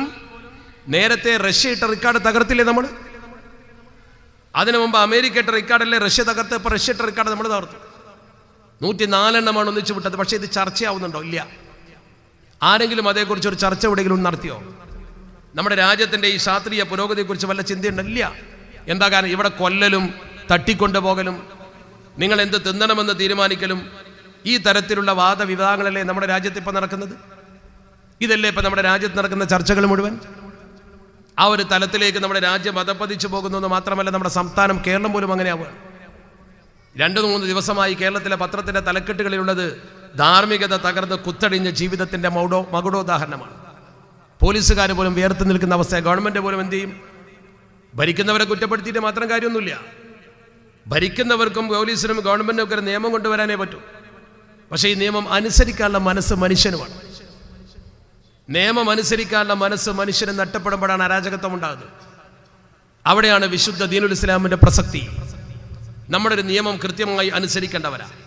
നമ്മുടെ ഒരു നിയമത്തിന്റെ ഫ്രെയിമിൽ ജീവിക്കേണ്ടവരാ ഈ ഒരു ബോധം നമ്മുടെ തലമുറക്ക് ഉണ്ടാക്കി കൊടുക്കലാണ് നമ്മുടെ സംഘടനകളുടെ ഇന്നത്തെ ഏറ്റവും വലിയ ചുമതല പരസ്പരമുള്ള കക്ഷി വഴിക്കുകളും തമ്മിലടികളൊക്കെ മാറ്റിയിട്ട് നമ്മുടെ സമൂഹത്തിന്റെ നിർമ്മാണ പ്രക്രിയയിലേക്ക് നമ്മൾ ഇറങ്ങണം ദീൻ അനുസരിച്ച് ജീവിക്കുന്ന ഒരു തലമുറയെ വാർത്തെടുക്കാൻ നമുക്ക് കഴിയണം വെറും സാമ്പത്തിക മോഹം വെറും ലൈംഗിക തൃഷ്ണ ഇതിൽ മനുഷ്യൻ ലയിച്ചു ചേർന്നിരിക്കുകയാണ് തിരിച്ചു പോകണമെന്നൊരു ചിന്ത മനുഷ്യനുണ്ടാക്കി കൊടുക്കണം നമ്മൾ ഇപ്പോൾ എസ് എൽ സി പരീക്ഷ നടക്കുന്ന സമയമാണ് നമ്മുടെ കുട്ടികളെ നന്നായി പഠിപ്പിച്ച് യോഗ്യരാക്കി ഉയർത്തിക്കൊണ്ടുവരാനുള്ള പണിപ്പുരകളാണ് ഇപ്പോൾ വേണ്ടത് ആ രീതിയിൽ നമ്മുടെ സമൂഹത്തിന്റെ നിർമ്മാണ മേഖലയിലേക്ക് കെൽപ്പുള്ളവരെ കൊണ്ടുവരികയും കാര്യങ്ങൾ കണ്ടറിഞ്ഞ് ചെയ്യാൻ കെൽപ്പുള്ള ഒരു സമൂഹത്തെ വാർത്തെടുക്കുകയും ചെയ്യേണ്ട അതിമഹത്തായ ഒരു ദൗത്യ നിർവഹണത്തിന് നിങ്ങൾക്ക് സാധിക്കണമെന്നാണ് ഞാൻ പറയുന്നത് അതിന് സാധിച്ചില്ലെങ്കിൽ നമ്മൾ അപകടപ്പെടും അള്ളാഹുവിന്റെ പരിശുദ്ധ തിരുത്തൂതര് പറഞ്ഞു നമ്മുടെ കൾച്ചർ മാറാതെ നമുക്ക് ശത്രു ഒരിക്കലും അനുകൂല സമീപനം സ്വീകരിക്കില്ല ഇന്ന് ലോകത്ത് മുസ്ലിംകൾക്കെതിരെ ശത്രുക്കൾ അധികാരത്ത് വന്നതിന്റെ കാരണം ദീർഘമായ ഹദീത്തിൽ നബി തങ്ങൾ പറഞ്ഞിട്ടുണ്ട് അത് നമ്മൾ ഓരോരുത്തരും പഠിക്കുകയും പ്രാവർത്തികമാക്കുകയും ചെയ്യണം അള്ളാഹുവിന്റെ തിരുത്തൂതർ പറഞ്ഞു അള്ളാഹു ഒരു കുതിസിയ ഹദീത്തിലൂടെ നമ്മൾ അറിയിച്ചു അന മാലിക്കുൽ മുലൂക്കിയ മലിക്കുൽ മുലൂഖ് അന മാലിക്കുൽ മുലൂക്കിയ മലിക്കുൽ മുലൂഖ് ഈ കൂടി നിൽക്കുന്ന പ്രിയപ്പെട്ട സഹോദരങ്ങൾ ആ ഹദീത്തിന്റെ ശരിയായ അർത്ഥമൊന്ന് പഠിക്കണം കുതിസിയാ ഹദീസിലൂടെ റബ്ബ് സുബാനുവത്തല പറയുന്നു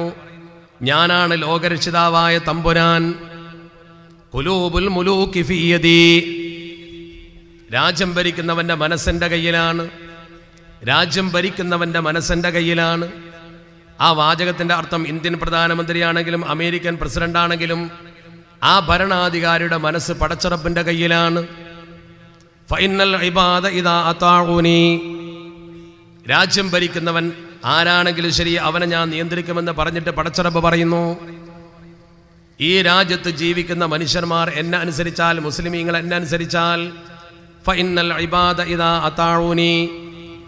ഇവിടെ ജീവിക്കുന്ന മനുഷ്യന്മാർ മുസ്ലിമീങ്ങളായി ശരിക്ക് ദീൻ പറഞ്ഞ പോലെ നടന്നാൽ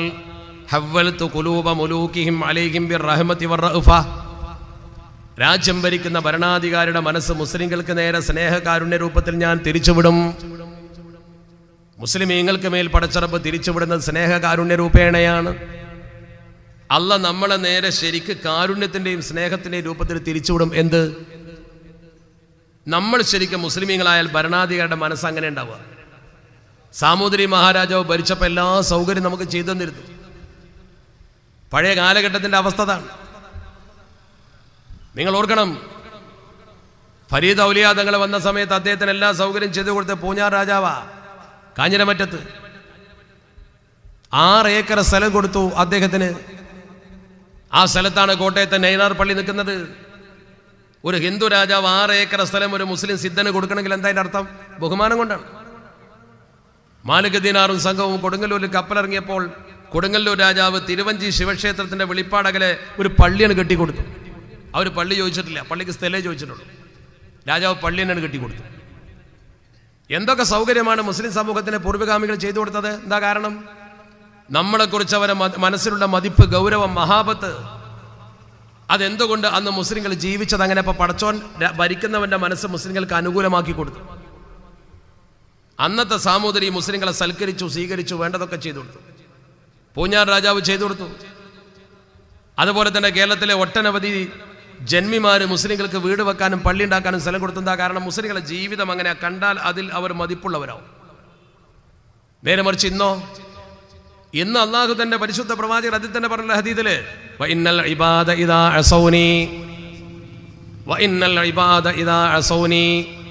അടിമകൾ എന്നെ ധിക്കരിച്ചാൽ മുസ്ലിമീങ്ങളായ ആളുകൾ അള്ളാഹുവിനെ ധിക്കരിച്ചുകൊണ്ട് ദീന് വിട്ട് കളിച്ചാൽ നമ്മളൊക്കെ പരിശുദ്ധ ദീനനുസരിച്ച് കൊണ്ട് ജീവിക്കുന്നതിന് പകരം വൃത്തികേട് കാണിച്ചാൽ ഹെവലത്ത് കുലൂബ മുലൂക്കിഹിം മലേഹിം ബി സഹത്തത്തെ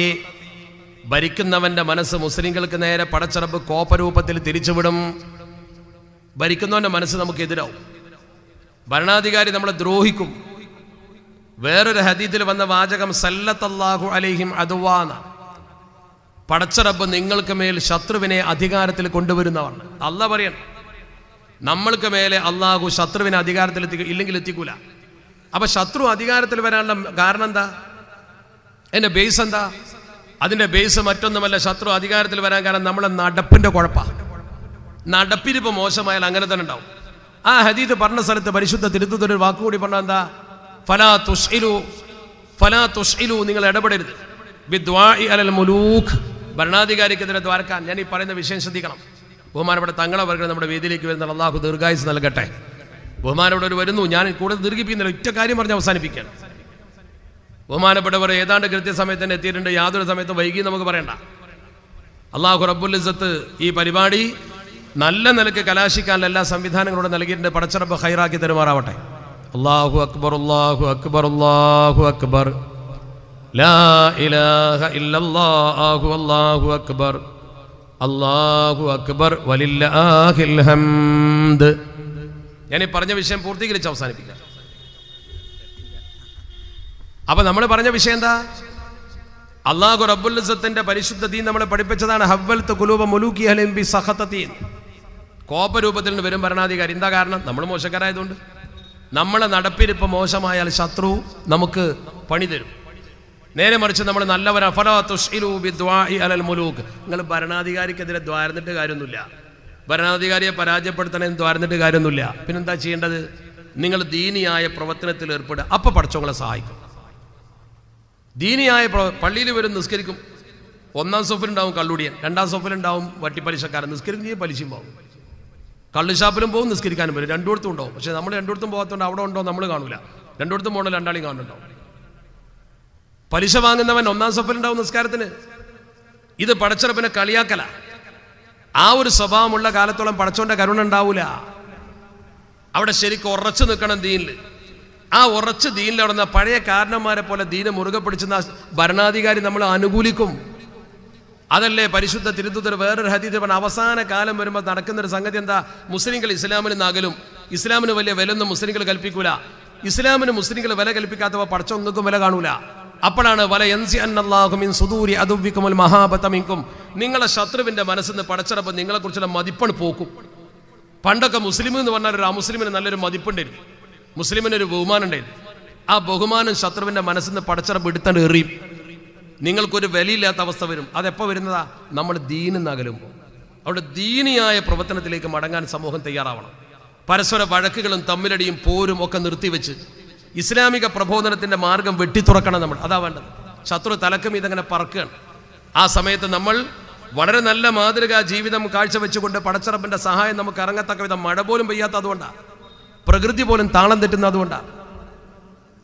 അതുപോലും താളം തെറ്റാൻ കാരണം അതാണ് നമ്മൾ ശരിക്കും തെക്കുവെള്ളവരായ പടച്ചിറപ്പ് മഴയും തരും അതിലപ്പുറവും തരും അള്ളാഹു നമുക്ക് നല്ല പ്രകൃതി സംരക്ഷണം നൽകുമാറാവട്ടെ ഞാൻ പ്രാർത്ഥിക്കാം ഞാൻ അവസാനിപ്പിക്കുന്നു തങ്ങൾ വന്നുകൊണ്ട് ബഹുമാനപ്പെട്ടവർ നമുക്ക് ഈ ബൈത്തുർ റഹ്മ ഈ മഹത്തായ ഭവനം അഥവാ ബൈത്തുൽ മുസാഅദ സമർപ്പിച്ചു തരും ആ സമർപ്പണത്തിന്റെ സദസ്സിലാണ് നമ്മൾ ഇതിനു വേണ്ടി പ്രവർത്തിച്ചവർക്കൊക്കെ ദുആ ചെയ്യും അള്ളാഹു റബ്ബുൽ തരം നല്ല പ്രവർത്തി ഇതൊരു നല്ല പ്രവർത്തനമാണ് അള്ളാഹുവിൻ്റെ കരുണ ഇറങ്ങുന്ന പ്രവർത്തനം അതിലേക്ക് സഹായിച്ചവർ സഹകരിച്ചവർ മുന്നിട്ടവർ എല്ലാവരെയും അള്ളാഹു അനുഗ്രഹിക്കട്ടെ എന്ന ഹൃദ്യമായ പ്രാർത്ഥനയോടുകൂടി ഞാൻ വിടവാങ്ങുന്നു അലൈക്കും വറഹമത്തല്ലാഹി വബർക്കാത്തു